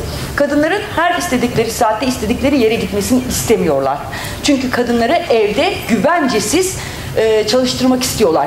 Evlerimizi aslında dumansız fabrikalar haline getirmeye çalışıyorlar. Parça başı işleri evlerde verip hem sigorta yaptırmayıp hem iş yeri sağlamayıp hem öğlen yemeğini vermeyip hem yol parasını vermeyip hem de evde e, ucuza çalıştırmak istiyorlar. İtaat etmemelerimizi istiyorlar, sessiz kalmamızı, ataerkil düzeni, muhafazakar bir yaşam sürmemizi istiyorlar. Ama kadınlar buna direndiği için, kadınlar buna karşı çıktığı için de aynı zamanda bir cezasızlık politikasıyla kadın düşmanlarını daha da destekleyip e, cesaretlendiriyorlar. Bu sıkıntılar varken kadın işçilerin payına ne düşünüyor? Kadın işçilerin payına da yine bütün bu e, saldırılara rağmen iş hayatının içinde tutunmaya çalışan kadınların karşısına cam tavanlar konuyor, eşit işe eşit ücret uygulamama politikaları konuyor ve bir türlü imzalanmayan ILO 190 sözleşmesi mesela konuyor. Ne demek ILO 190 sözleşmesi? Size hatırlatayım ben. Disk'in de bu yönde bir kampanyası var. İş yerinde cinsel taciz ve cinsel şiddetin önlenmesi sözleşmesidir. Bu çok önemli bir sözleşmedir. Bütün dünyada işçi kadınların mücadelesiyle e, yazılmış. ILO tarafından tüm e, ülkelere e, imzalanması tavsiye edilen bir sözleşmedir. E, ama ne tesadüftür ki AKP iktidarının e, olduğu, AKP MHP iktidarının olduğu Türkiye bu sözleşmeyi imzalamıyor. Neden? Çünkü bu sözleşmede taraf devlet sorumluluk almak zorunda bu sözleşmeyi imzaladığında. İş yerinde tacize, e, şiddete uğrayan bir kadın korunmalı ve bu taciz ve şiddetin önüne geçilmelidir diyor. Hepimiz yaşıyoruz değil mi? Kadın işçiler birçok noktada. Ben de bir kadın avukat olarak ben de yaşıyorum. Avukat olarak e, hayatın içerisinde var olmam beni bu tacizden ve şiddetten ari tutmuyor. E, bizler de adliyelerde e, kimi noktalarda hakimlerle, savcılarla ya da adliye personeli, kimi noktalarda müvekkillerimizle aynı şeyi yaşıyoruz. Çünkü bu genel bir politika haline geliyor. Bunu e, mavi yakalı işçi de, hizmet sektöründeki işçi de üstlerinden, amirlerinden sıklıkla yaşıyor. Bu da aslında kadınları iş hayatının dışına itme politikasıdır iş yerinde cinsel taciz ve şiddetin e, önlenmesine dair politika yapmamak kadın istihdamını düşürme yönünde bir e, görüş belirtmedir. Neden? Çünkü biz her geçen yıl yine istatistikleri hazırlayamadım ama görüyoruz ki kadın istihdamı sürekli düşüyor. Ne demek? Yani belli sektörlerde her ne kadar bazı sektörlerde kadınlar ağırlıkta çalışıyor, oran yüksek olsa da genel olarak çalışma hayatında gittikçe sayısı düşürülüyor. Kadınların düşüyor değil, düşürülüyor. Bu devlet politikasıyla sistemli bir şekilde düşürülüyor. Çünkü çalışma koşulları ağırlaştırılıyor. Güvenli, sağlıklı bir çalışma ortamı sağlanmıyor. Ücretler düşük tutuluyor güvencesiz hale getiriliyor. İlk işten çıkarılanlar haline geliyor ve böyle sıkıntılar ve sorunlar yaşandığı noktada da kadınların her geçen gün çalışma hayatında çekilmek zorunda bırakılıyorlar. E, bir sebebi de kreş. Çok önemli bir sebebi. Yani herhangi bir e, bir lüks talebi değil, lüks bir talep değil bu kreş hakkı.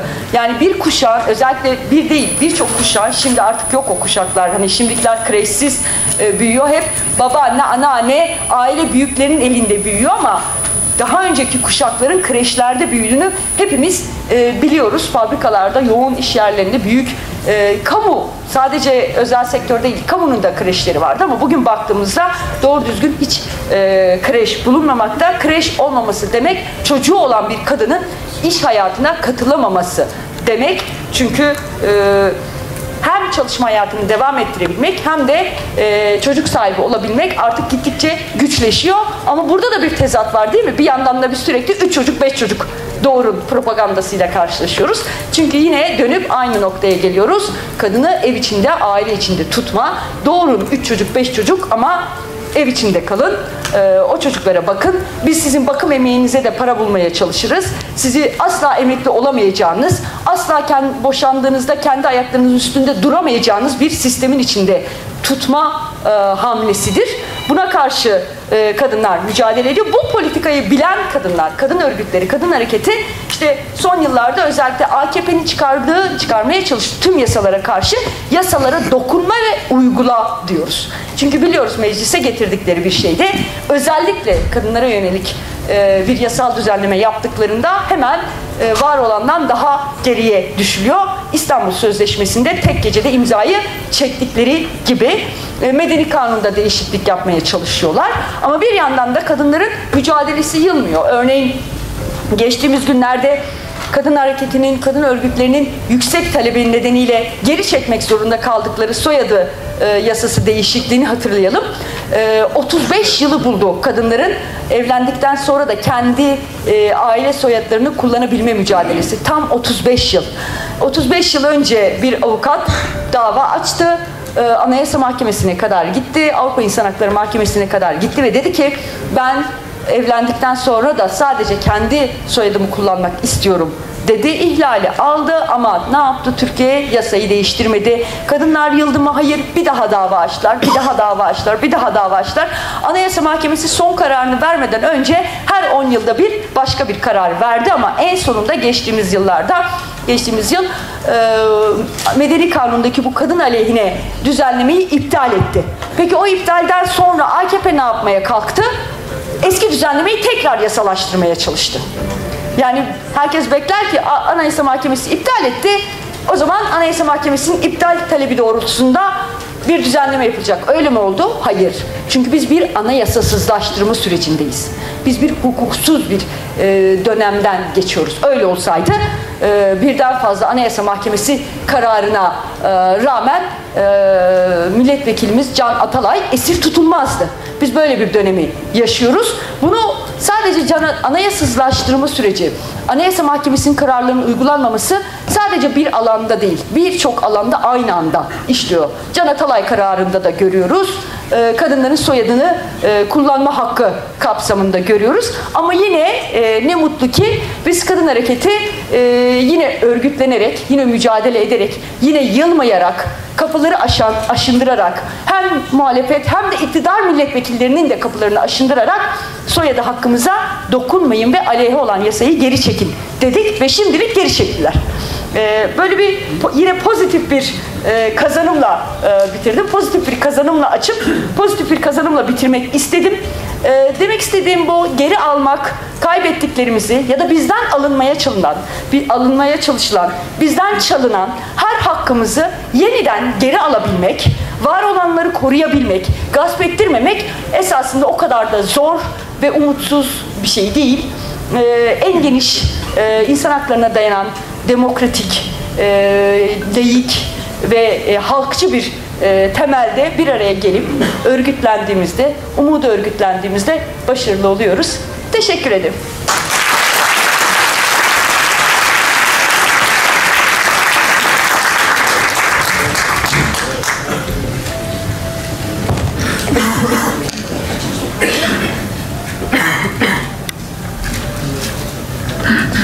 Değerli dostlar, sevgili yoldaşlar, ben de hepinizi sevgiyle, saygıyla selamlıyorum. Böyle güzel bir etkinliğin sonuna doğru söz almak zor. Hem içinizde söyleyecek, söylemek istediğiniz çok şey var. Hem sizden önce çok değerli iki konuşmacı meseleyi etraflıca başka boyutlarıyla ele almış durumdalar. Dolayısıyla bir kere işimin zor olduğunu bilerek buraya geldim.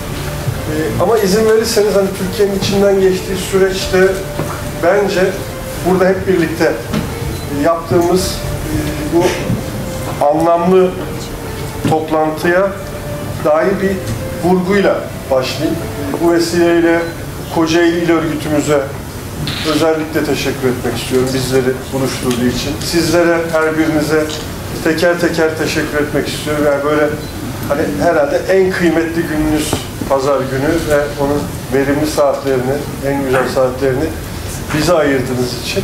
Ama gerçekten altını çizmek istiyorum ki son derece önemli bir şey yapıyoruz. Şimdi sadece şu duygumu paylaşayım. Mesela e, sevgili Aziz Hoca anlatırken kendisine de ifade ettim. Dönüp rakamlara baktıkça, büyük bir emekle hazırlanmış, titizce hazırlanmış rakamlara baktıkça salonda da bende de aşağı yukarı şöyle bir duygu oluşuyor. Ya bu adamlar nasıl bu kadar bariz yalanlar söylüyorlar? Sistematik olarak o kadar rahat yalan söyleyen bir toplulukla karşı karşıyayız ki. Arkadaşlar bir şeye güveniyorlar çünkü. Mesela hocanın burada anlattıkları böyle gizli saklı şeyler değil ama emek vererek, çabalayarak, analiz ederek, biriktirerek buluşturmak gereken boyutları var. boyutları var. Onları yan yana getirip ortaya koyduğunuzda böyle binlerce yalanın, on binlerce yalanın karşısına bir tane gerçeği koyuyorsunuz ve hepsi tuzla buz oluyor. Ama mesele ne? İşte ana akım medya diyorlar ya. Hatta ben devam ediyorum muhalif medya diyorlar ya. Oralarda biz bu gerçekleri bu ülkedeki milyonlarla buluşturamıyoruz. Ve bir süre sonra hoca çok güzel ifade etti. Bence altını çizelim. Yani asgari ücretli şöyle düşünmeye başlıyor. Emekli şöyle düşünmeye başlıyor. Ya tamam memleket kötü yere gidiyorsa bana zam yapmasınlar. Ben yoksulluğa razıyım. Bakın bize, bize sistematik olarak her gün, her gün, her gün, her gün, her gün, her gün aynı yalanı söyleyerek yani enflasyonun sebebi senin maaşındaki artış. Ekonomi kötüye gidiyor çünkü çok emekli var bu ülkede. Emekliye zam yaparsak ülke daha kötüye gidecek. Bize her gün her gün bunları anlatarak bir süre sonra bizi milyonlarca insanı buna ikna eder hale getiriyor. Şimdi ben o yüzden bu toplantıyı çok önemli görüyorum. Bu toplantıyı Türkiye'nin dört bir yanında yapacağız benzerleri. Arkadaşlar bizim şu anda neye ihtiyacımız var biliyor musunuz? Bir kere bu gerçekleri bu ülkedeki milyonlarca insana ulaştırmaya ihtiyacımız var. Bu son derece önemli çünkü hani biraz sonra daha ayrıntılı gireceğiz. Sermaye programından söz ediyoruz. Sermayenin bütün olarak çıkarlarını savunan bir iktidardan söz ediyoruz. O yüzden muhalif görünümlü sermaye bile aslında bu gerçeklerin geniş toplumsal kesimlere ulaşmasını istemiyor. O yüzden açık söyleyeceğim yani Türkiye İşçi Partisi'ne dönük basındaki ablukanın en önemli nedenlerinden bir tanesi bu. Çünkü biz gittiğimiz her yerde aynı soruyu soruyoruz. En muhalif gazetede, en muhalif televizyonda da şu soruyu soruyoruz. Burada çalışanlar sendikalı mı? Sorar mısınız lütfen? Orada, orada çalışanlar anayasal haklarını kullanabiliyorlar mı? Şimdi bu güvenceyi sermaye verdikten sonra milyonlarca insanı uyutmak, milyonlarca insana gerçeği ters yüz ederek anlatmak çok kolay geliyor. Ve iktidar buna güveniyor. O yüzden orada işte iletişim başkanlığı dedikleri bir yalan merkezi var. Bir de Diyanet İşleri Başkanlığı diye bir yalan merkezi var. Bu iki yalan merkezinde ürettikleri yalanları topluma boca ediyorlar. Ve hiç durmadan, bıkmadan, usanmadan aynı yalanları tekrar tekrar anlatıyorlar. Bizim bunun karşısında tek gücümüz, onlar yukarıdan konuşuyorlar halka. Biz insanların içindeyiz. Eğer örgütlü davranabilirsek, bu gerçekleri bilince çıkartabilirsek, kavrarsak, anlarsak ve mutlaka ama mutlaka bu gerçekleri anlatırsak, yaygınlaştırırsak bu tablo değişebilir. Şunu unutmayalım. Bakın, bilim son derece önemlidir. Bilgi son derece önemlidir. Doğru çok önemlidir. Ama ona gerçek önemini veren şey arkasında biriken kuvvettir, güçtür. Eğer siz bir doğrunun arkasına güç biriktiremiyorsanız, bir bilginin arkasına güç biriktiremiyorsanız maalesef karşınızdaki örgütlü cehalet, örgütlü kötülük egemen hale geliyor. Ve o yüzden bu kadar berbat bir yönetime rağmen ben gittiğim her yerde söylüyorum, utanıyorum. Yani 22 yıldır ülkeyi bu iktidarın yönetiyor olmasından gerçekten bu ülkenin bir yurttaşı olarak, bir muhalif siyasetçi olarak falan. Yani bu kadar kötü insanların 22 yıldır bu ülkeyi yönetebiliyor olmasından utanıyorum ama kendi payıma buradaki eksiğimi de görüyorum. Ya biz bu basit gerçekleri toplumun geniş kesimlerine aktarmak, anlatmak, hani alternatif yok fikrinin karşısına alternatif var kardeşimi koymak konusunda yeterince başarılı olamadık. Herhalde. bunu da burada bir dost meclisinde olduğumuz için gönül rahatlığıyla bir özel eleştiri olarak söylüyorum. Ama hepimiz adına da bir buradan bir görev çıkıyor arkadaşlar. Şimdi birkaç tane basit şeyi ben de kendimce düzelteceğim. Ondan sonra bir halk için ekonomi paketine dair devam etmek istiyorum. Şimdi mesela bakın ben de yapıyorum. O yüzden eleştiri olarak söylemiyorum. Mesela bu iktidar beceriksiz. Bak bu lafı söylemiyor. Mesela bunlar yeteneksiz. Bak bu mesela beceriksiz olmak, yeteneksiz olmak suç değil arkadaşlar. Hani ayıp dersiniz beceriksiz olmak. Liyakatsiz niye yönetmeye çalışıyorsun bu ülkeyi falan ama buradan suç çıkmaz. Ama mesela grafiklerce neyi gösteriyor? 20 yıldır, 25 yıldır sistematik biçimde o şuradan oluyor arkadaşlar ben fark ettim. Altta kablolar basınca şey oluyor. Beni elektrik çarpıyor. Size bir şey olmaz. Sen sabit duruyordun. Biz hocayla hareket Şimdi bakın. Bu bence çok önemli. Beceriksiz, yeteneksiz falan filan diyoruz adamlara. Yok yani böyle beceriksizlik olur mu? Yani 22 yıldır iktidardasınız. 22 yıldır Türkiye'nin en zengin yüzde biri sürekli daha zengin hale gelmiş. 22 yıldır iktidardasınız. Sizin esas dert ettiğiniz konuların hepsinde para o tarafa doğru akmış. Yani 22 yıldır hep çalışandan, üretenden, emekçiden, emekliden, yoksuldan almışsın. Zenginleri daha zengin yapmışsın. Yani böyle beceriksizlik olabilir mi ya? Bu baya büyük bir yetenek ya kabul etmemiz lazım. Zaten bence AKP mesela bu sayede iktidarda duruyor. Bunu o kadar büyük bir yetenekle yapıyor ve toplumun buna dönük tepki geliştirmesini o kadar büyük bir yetenekle engelliyor ki. Sermaye diyor ki kimse bize bunlardan daha fazla kar veremez ki. Yani kimse AKP bak AKP su katılmamış patron partisidir. Bunu bunu zihinlerimize kazımamız lazım. Bak su katılmamış patron partisidir. Ya o yoksulun doğasını alır. Tamam? Yoksulun parasını alır. Götürür hepsini zenginlere teslim eder. Yerli yabancı patronlara teslim eder yani. Mesela başka bir şey daha söyleyeceğim. Bakın yine dilimize alışıyor. Ben de yapıyorum. Burada da yapıldı. Aziz Hoca uyardı kibarca ama ben onun altını çizeyim. Ben hani biraz daha kabaca şey. Şimşek kim ya? Şimşek programı, Şimşek programı. Şimşek'in öyle bir hükmü var mı ya? Şimşek programı diye böyle bir şey yaratılıyor. Tamam mı? İşte Mehmet Şimşek geldi bizi kurtaracak bu ülkeyi falan. Ya arkadaşlar hani herhangi bir şekilde kendi kişisel pozitif bir özelliği olsa, bir yeteneği olsa, bir şey olsa, özel olarak kendine münasır bir kimliği olsa, bu iktidarın parçası olur mu ya? Yani şimşek programı falan diye bir şey yok o yüzden. Ne? Hani illa isimle alacaksak o da tartışılır. Ben de bir sermaye programı olduğunu düşünüyorum ortada ama illa bir isimle alacaksak Erdoğan programı dememiz lazım. Yok öyle yani. Yani memleketi batıracaksın, batıracaksın, batıracaksın. Sonra damatın programı, Şimşek'in programı, Ahmet'in programı, Mehmet'in programı. E hani baba sen ekonomistsin. Hani ekonominin sorumlusu sendin. Ya zaten şu özelliğine de hayranım onu da ifade edeyim. Memlekette tırnak içinde iyi ne olsa Tayyip Erdoğan yaptı, kötü ne olsa Allah'tan.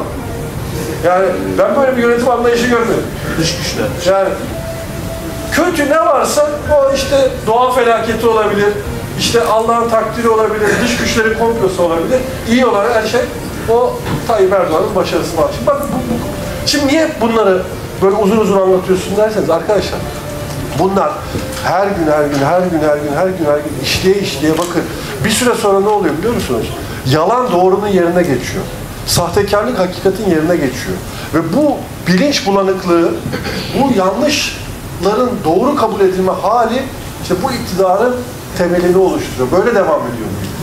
Ondan sonra biz hep kendimizi suçlayan, işte aza tamah etmesi gereken insan. Mesela ben çok uzun süredir açık söylüyorum, gittiğim hiçbir yerde mesela fakirlik anlatmıyorum. Yani ne kadar yoksuluz, ne kadar açız, bunu bilmiyor muyum, görmüyorum. Görüyorum da, ya neyi kime anlatıyorsun? Zaten insanlar bunu yaşıyor zaten. Mesela karşında emekliler var. Arkadaşlar emeklilerin ne kadar kötü yaşadığını biliyor musunuz? Ne anlatıyor? Zaten o yaşıyor ya. Şimdi mesela bakın bu muhalif siyasetçileri de bozan bir yaklaşım. Onu anlatmaya çalışıyorum. Öyle bir sistem kuruluyor ki biz de bunlar duyulmuyor diye bunları anlatmayın. Oysa bizim şunu tartıştırmamız lazım. Biz niye fakiriz arkadaş? Biz hepimiz, hepimiz eskisinden daha çok çalışıyoruz. Hani bizim çocukluğumuzda şöyle anlatırlardı. İnsanlar 8 saat çalışacaklar, 8 saat dinlenecekler, 8 saat eğlenecekler. Şimdi o hani böyleydi. Şimdi böyle bir hayat yok artık değil mi? Hepimiz 8 saatten fazla çalışıyoruz. Çalışanların hepsi 8 saatten daha fazla. Eskiden şöyle anlatılıyordu bakın.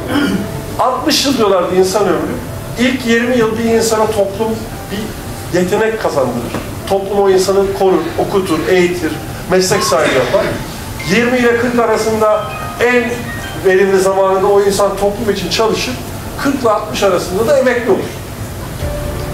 Şimdi çalışma saatlerimiz arttı, emeklilik yaşımız arttı. Değil mi? Aslında hayatımızın çok daha fazlasını çalışarak yaşıyoruz. Mesela en çok hani bence en çarpıcı sonuçlarından bir tanesi. Zihinlerde kalsın diye de her yerde anlatıyorum. Niye çalışıyoruz? Çoluğumuz çocuğumuz için çalışıyoruz. Çocuğumuz uyanmadan evden çıkıp işe gidiyoruz. Gece çocuk uyuduktan sonra geliyoruz eve. Yani o hani hayatını kurtarmak için çabaladığımız çocuğun do- doğduktan sonraki hayatını göremiyoruz ki. Çocuktan uzak büyüyoruz. Şimdi ve bize bunu mahkum etmişler. Şimdi niye anlatıyorum? Daha çok çalışıyoruz değil mi? Peki daha çok çalıştığımızda ne olmasını bekleriz? Rahatımızın artması gerekir kardeşim. Daha çok çalışıyorsak daha çok kazanmalıyız. Daha mutlu yaşamalıyız. Böyle bir şey yok. Yani biz arkadaşlar fakirleşiyoruz. Çünkü birileri çok zenginleşiyor. Çünkü birileri çok zenginleşiyor. O yüzden bence mesela biz Türkiye'de fakirliği tartışmıyoruz. Fakirlik birileri hak etmedikleri halde çok zenginleştikleri için ortaya çıkan bir sonuç. Fakirliği ortadan kaldırmak istiyorsanız işte o bölüşüm, bölüşüm dehşeti yaşanıyor bu ülkede şu anda. Gerçekten çok güzel laftı yani timsah kapitalizmi. Açmış timsah ağzını hepimizi içine aldı. Kanımızı emiyorlar ya. Ve bunun karşılığında da sürekli bizden beklenen şey mesela şu. Asgari ücreti az diyorsun, adam bağırıyor, vatan bölünmez. Emekli maaşı az, ezan susmaz. Ya işsizlik arttı, işte bayrak inmez. Lan ne alakası var? Ama kurdukları sistem, kurdukları düzen bunun üzerine kurulu. O yüzden değerli arkadaşlar bence iki şeye ihtiyacımız var. Bir, gerçeğin, gerçeğin bir gücü var. Gerçeğin gücünü kendi gücümüze, örgütlü gücümüze katarak bunu milyonlara mal etmek. Çünkü iş şöyle yürüyor. İş şöyle yürüyor arkadaşlar. Yani hasbelkader ben ucundan yaşım yetişiyor işte o Özal'lı yıllar itibariyle. Dünyada Thatcher'lar, Reagan'lar falan. Şunu anlattı. Kocaeli'de yaşayanlar zaten çok daha iyi biliyorlar.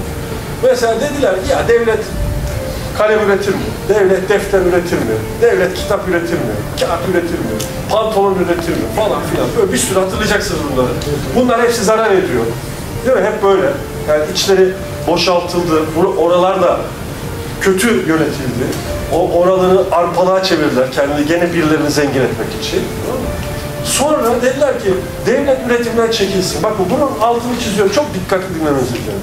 İlk masal şuydu. Devlet üretimden çekilsin. Oysa biz şunu savunmalıyız. Savunmadık. Yanlış yaptık, eksik yaptık, hatalı yaptık.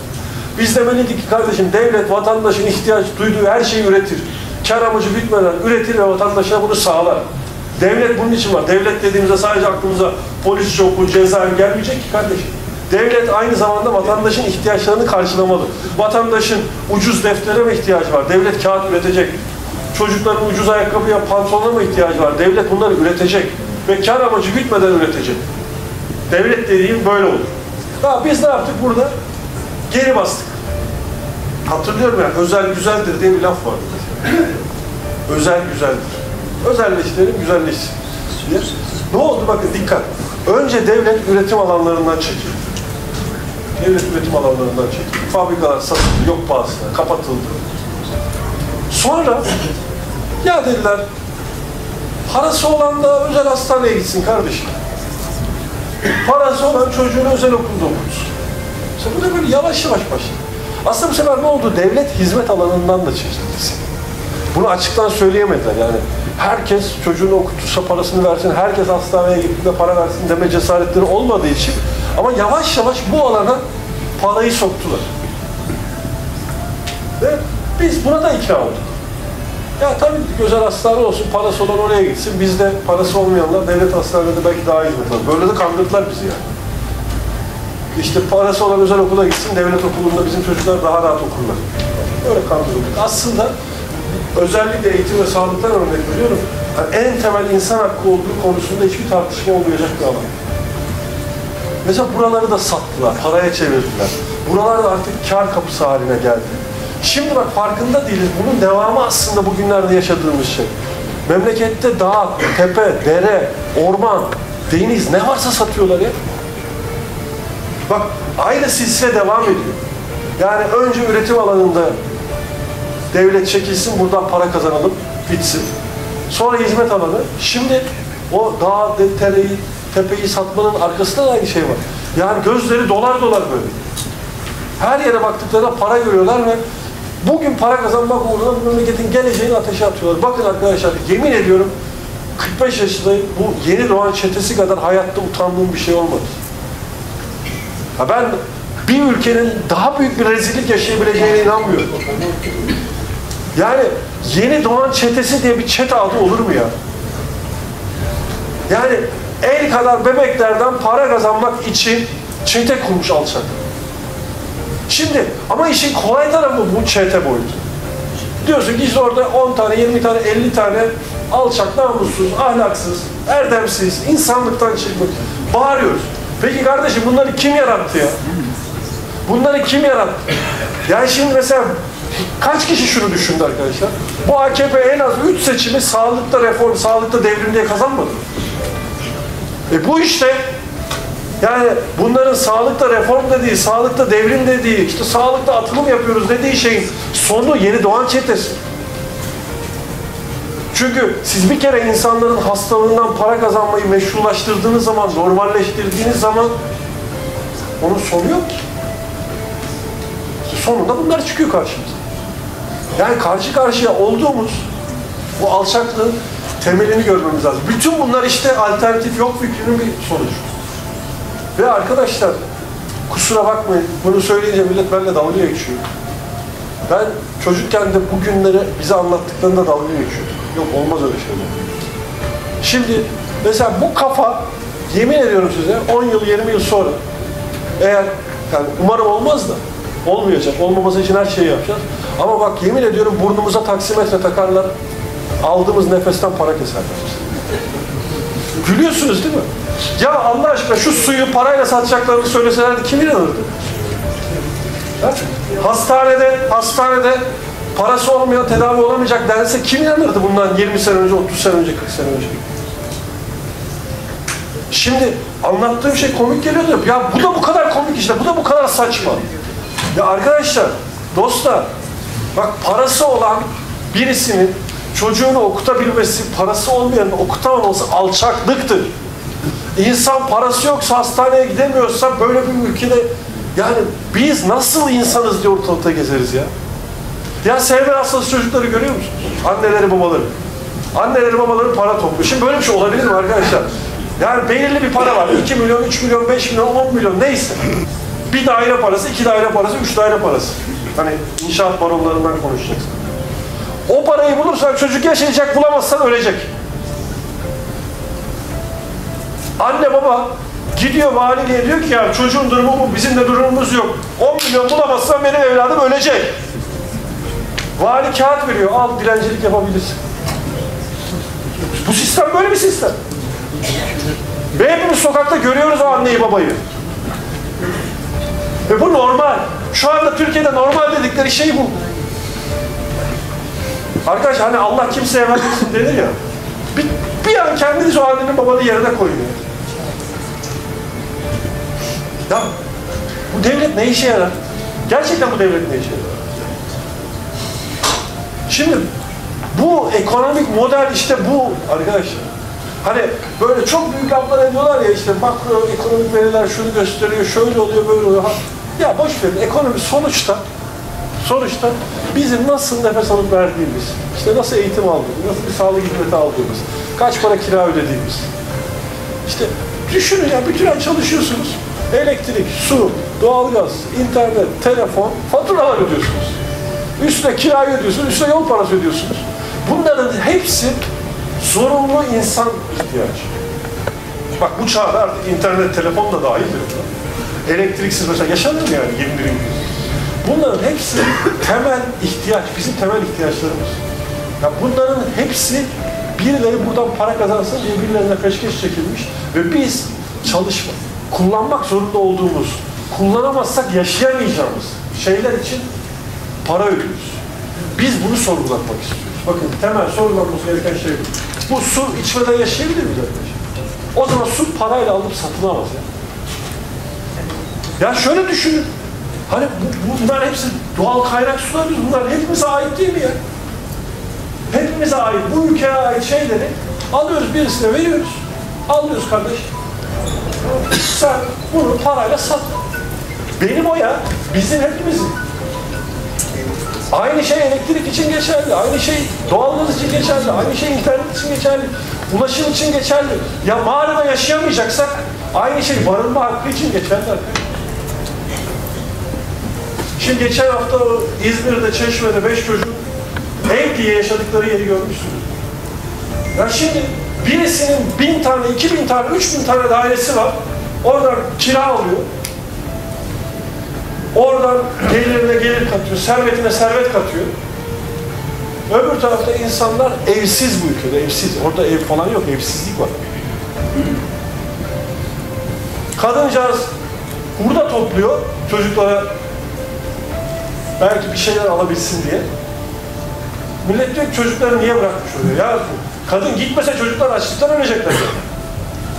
Yani açlıktan mı ölsün, yanarak mı ölsün? Bu iktidarın çocuklarımıza sunduğu imkan mı?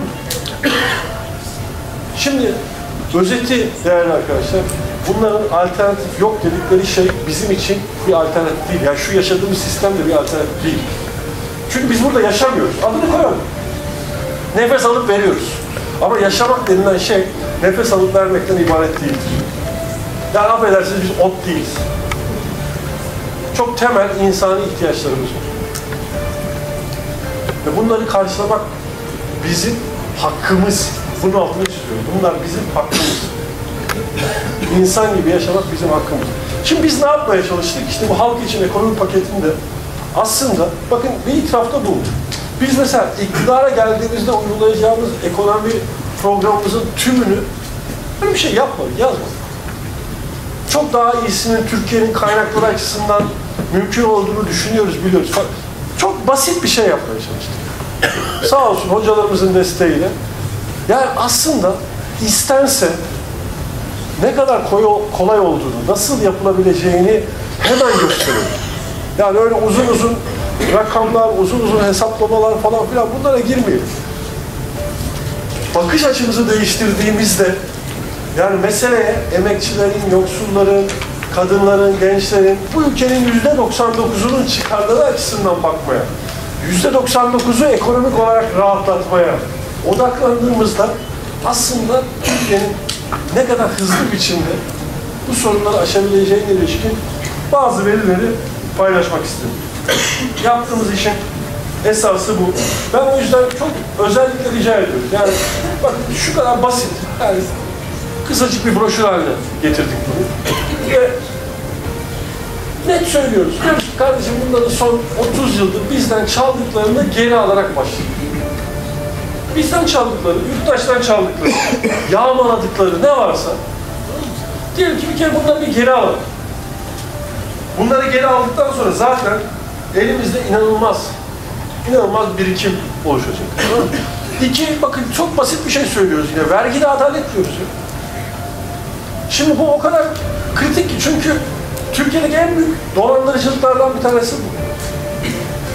Şimdi yüzde 65'i dolaylı vergilerden oluşan bir bütçeden söz ediyoruz yine. Bu ne demek? Aslında farkında olmadan ödediğiniz vergiler. Yani günlük hayatta ödediğiniz vergiler. Ya zaten işçilerden, emekçilerden daha maaşımızı almadan vergimizi veriyoruz. Biz, değil mi? Ondan sonra aldığımız maaşı kullanırken her adımında tekrar vergi veriyoruz. Çok çarpıcı bir örneği var bunun. Köprü, şu yeni köprü var Osman Gazi Köprüsü falan filan. Bakın orada geçerken kullandığınız arabayı alırken TRT vergisi bile ödüyorsunuz. Yani bir sürü vergi ödüyorsunuz arabayı alırken.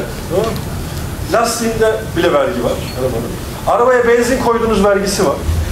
Yoldan geçiyorsunuz, yola para ödüyorsunuz. Ödediğiniz paradan devlet pay alıyor, onun da vergisi var. Ama o köprüden devletle yaptığı anlaşma nedeniyle kasasına böyle tonlarca dolar dolduran kişi vergi vermiyor. Ya bu kadar anormal bir şey olabilir mi? Yani orada bir köprü var. Onun üstünden geçen 10 tane ayrı kalem vergi veriyor. O köprüden para kazanan kişi hiçbir vergi vermiyor.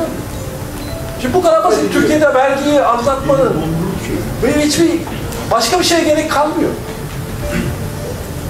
Yani her yıl bakın her yıl ya çok büyük vergi affı bu şirketler için ya çok büyük vergi indirimi mutlaka bir hikaye uyduruyorlar bunlara bu parayı aktarabilmek için. Mesela soruyorum bakın biz şu soruyu sormak zorundayız.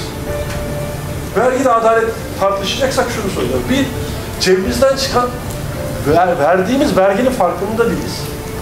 Bizler değiliz. Yani ÖTV'si, KDV'si, şusu busu falan filan. Ya verginin vergisini veriyoruz yani. Öyle bir haldeyiz. İki, bunlardan alınmayan vergiler de arkadaşlar, onlar da bizim hakkımız. Yani onlardan o verginin alınması ve halk için kullanılması lazım. Yani kimin parasını kim affediyor? Kim siliyor? Mesela dünyanın her yerinde çok basit bir laf vardır. Yani bu, bu bile tartışılır. Çok kazananlar, çok az kazananlar az vergi alacaksın değil mi? Yani basit bir matematik. Vergi belki ilk şey cümle budur. Türkiye'de dikkat edin. Bu şimşekler falan filan da dahil. Berat Albayrak başlattı o şeyi. Ne diyordu? Vergiyi tabana yayacak. Vergiyi zaten sadece taban veriyor memlekette. Vergiyi tabana yaymak lazım. Ama mesela vergiyi tabana yayacağız lafı o kadar rahat söyleniyor. Zaten taban ödüyor, vergiyi başka ödüyor yok tabii ki. Dolayısıyla arkadaşlar, yani geri aldığımızda, bakın bizden çalınanları geri aldığımızda, yani yağmalananları, o talanları geri aldığımızda, bunun üzerine, bunun üzerine vergide adaleti sağladığınızda zaten inanılmaz bir kaynak yaratmış oluyorsunuz. Şimdi bunun üstüne de bir mantığı yerleştirmemiz lazım. Mesela asgari ücret. Gerçekten biz önümüzdeki bir ay boyunca sabah akşam her yerde bunu tartışmak istiyoruz. Ya bu kadar çok asgari ücretli olmaz. Asgari ücret ne demek? Daha işe yeni başlamış.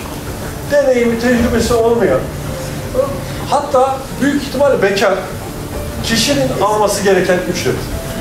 Yani asgari ücreti oraya çekmemiz lazım. Bu, bunun bile arttırılması lazım da. Ya asgari ücret mantığında bu olması lazım. Yani çalışanların çok küçük bir bölümü asgari ücret alır. Yeni işe başlamıştır, deneyimsizdir, tecrübesizdir falan. Asgari ücretle başlayabilir. Ama şimdi ya Türkiye öyle bir hale gelmiş ki neredeyse herkes asgari ücret alıyor. Yani yoksullukla eşitliyorlar. Hani eşitlik olmaz, eşitlik olmaz diyorlar da yoksullukla eşitlemeyi biliyorlar. Bu mesela kesinlikle kabul edilebilir bir şey değil. Bununla ilgili önümüzdeki dönem ciddi çalışmalar yapmamız lazım. Yani asgari ücretin insanca yaşanacak bir ücret haline gelmesi, bir taban ücret haline gelmesi. Şey de doğru bulmuyorum, onu da söyleyeyim. Yani arka arkaya rakamlar açıklanıyor bu ara. Ben e, hani işte biz de bir rakam açıklayalım. Eğer rakam açıklamaya gelince açıklar. Hoca açıkladı işte 68 bin lira, 80'e göre hesap etsek. Şey. Ama mesele şu, şimdi asgari ücretin rakamından ziyade onun hayattaki karşılığını konuşmamız lazım. Yani mesela asgari ücretlinin ödeyeceği elektrik faturası ne olacak? Su faturası ne olacak? Bizim mesela önerdiğimiz modelde diyoruz ki belli bir limite kadar elektrik ücretsiz veririz. Zaten vergisine dahil mi? Yani biz çocukken öyle öğrendik. Ödediğimiz vergiler yol, su, elektrik olarak geri gelecek kardeşim. Şimdi vergi ödüyoruz, yol parası ödüyoruz. Vergi ödüyoruz, elektrik parası, vergi ödüyoruz, su parası. Bu saçmalık olmaz. Dolayısıyla bir yurttaş, bir yurttaş şu hakka sahip olmalı. Asgari ücretle yaşıyorsa belli bir elektrik, belli bir su, belli bir internet, hatta konut ki- yardımı. Bunları devlet sağlamalı. Devlet yurttaşını insanca yaşatmak için çaba harcamalı.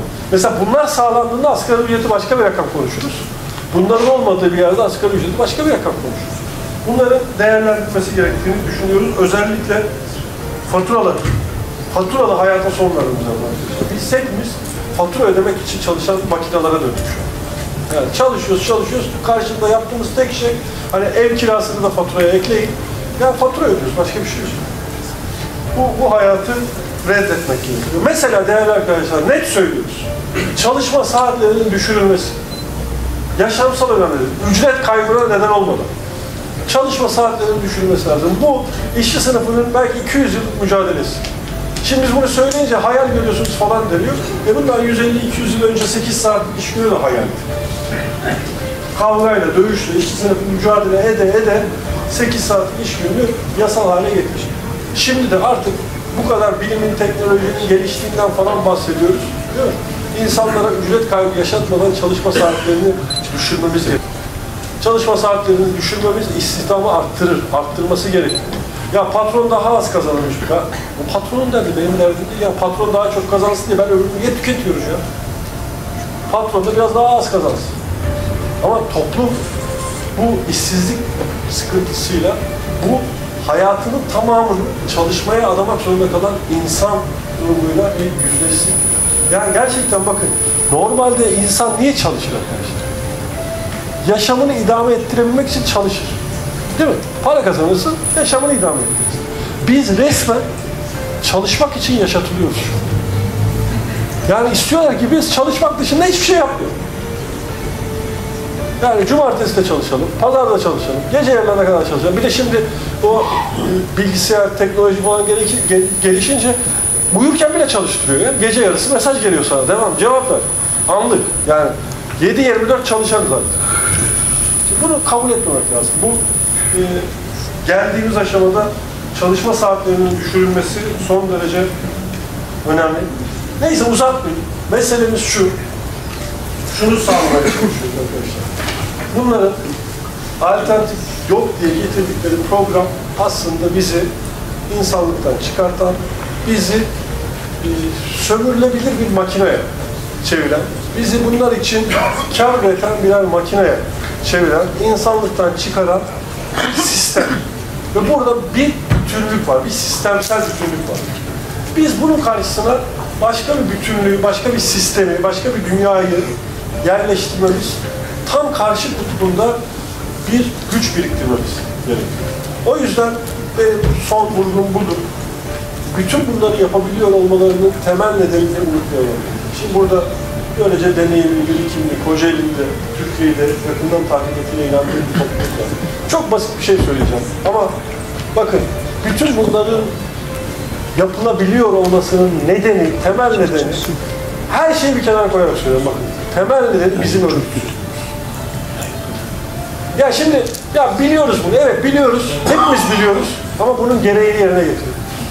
Şimdi bakın sendikal örgütlülük. Yani herhangi bir iş yerinde sendikanın yetki alması ortalama iki yıl olmuştur. İki yılda o yetkiyi alıyorsunuz. Zaten iki yıl içerisinde patron orayı boşaltıyor. Sendikalı işler işler atıyor, yeni işler getiriyor. Yani sizi orada yetkisizleştiriyor. E şimdi grev yapmaya kalkıyorsunuz. Grev ertelemesi deniyor ona. Aslında o grevin yasaklanması, fiilen o grevin yapılamaması. Yani anayasal hakkınızı, yasal hakkınızı kullanmanızın önüne geçiliyor. Örgütsüz, dolayısıyla çaresiz, dolayısıyla yalnız, dolayısıyla mahkum hale geliyor. O yüzden biz bu dönem Türkiye İşçi olarak en fazla bununla uğraşıyoruz. Rica ediyorum. Buradaki her arkadaşımdan rica ediyorum. Mesela bu toplantı bir işe yarayacaksa şu işe. Ya partiyi benimsiyorsanız Türkiye İşçi Partisi lütfen gelin partimize uyun. Ha benimsemiyorsunuz Türkiye İşçi Partisi'ni. Beğenmiyorsunuz programını. Başka bir partiyi beğeniyorsunuz. Gidin oraya uyun. Çalışıyorsanız mutlaka bir sendika uyun. Mahallenizde bir derneğe uyun. Ya komşularınızla WhatsApp grubu kurun. Memleketi kurtarmak üzere. Bakın yemin ediyorum bunu söyleyince gülüyorlar. Ya akşam televizyonu açıyorsunuz. O yorgun argın halinizde. Her şeyi bilen bir takım arkadaşlar var televizyonda. Yani futbolu da onlar konuşuyor, ekonomiyi de onlar konuşuyor, dış politikayı da onlar konuşuyor. Çin'i de onlar biliyor, Amerika'yı da onlar biliyor falan. Ya onları dinleyeceğinize komşunuzu dinleyin. Bak bu kadar basit bir şey önemli. Onları dinleyeceğinize komşunuzu dinleyin. En azından komşunuz da sizi dinler bir diyalog olur. Ve bir iken iki olmak dünyanın en önemli şeyleri. Biz maalesef ülkenin ne halde olduğunun farkında olanlar olarak söylüyoruz. Bizler birken iki olmayı küçümsüyoruz. Dünyanın en önemli şeyi birken iki olmaktır. Ortak bir akıl oluşturmaktır. Çünkü arkadaşlar mesela bakın öyle bitireyim. Toplantı nasıl başladı? Belki izleyenler açısından sembolik. Ama ben arkadaşlara gerçekten teşekkür ediyorum. Çok doğru bir şey yapıyoruz. İktidarın mevcut siyaset düzenini sıradan insanlar dediği, küçümsediği kişiler, kadınlar, gençler, işçiler, bu parti onları siyasette özne kılmak için. Yani Türkiye İşçi Partisi bir şeyi başarırsa her şeyi başarır. Ya bu siyasetin dışına itilen, sadece seçmen olması istenen, sadece seçimden seçime bana oy versin, beni alkışlasın, beni desteklesin denilen insanlar siyasette özne olmalı. Siyasetin kurucusu, yapıcısı, yürütücüsü olmalı. Bakın yemin ediyorum size, Türkiye'deki hakim siyaset anlayışı mesela temiz insanların siyasete girmemesi için uğraşıyor. Mesela zeki insanların, çalışkan insanların siyasete girmemesi için uğraşıyor. Çünkü onlar girdiğinde yönetilmesi kolay değil. Evet efendim, tamam efendim, peki efendim demeyecekler diye düşünüyor.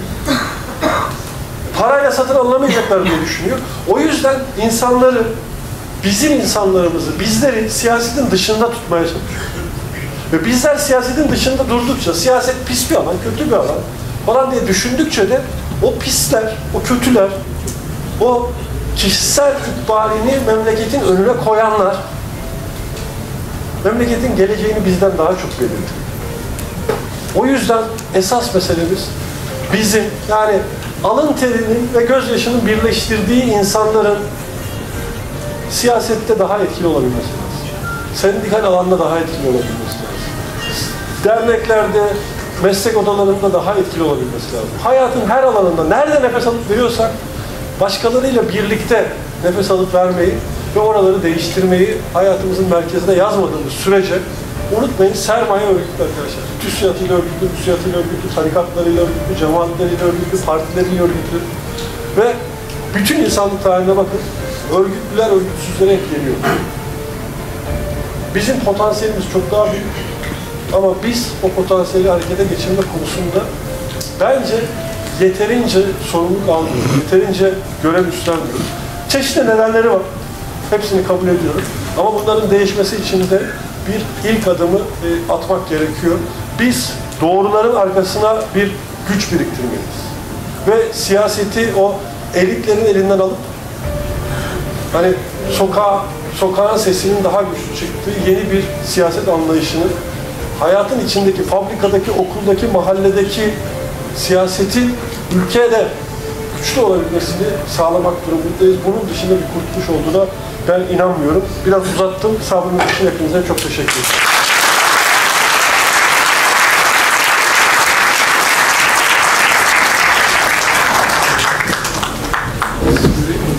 Değerli basın emekçileri, sevgili yurttaşlarımız. Hep birlikte halk buluşmamız burada sona erdi. Katılımınız, katkılarınız ve dayanışmanız için teşekkürlerimizi sunuyoruz.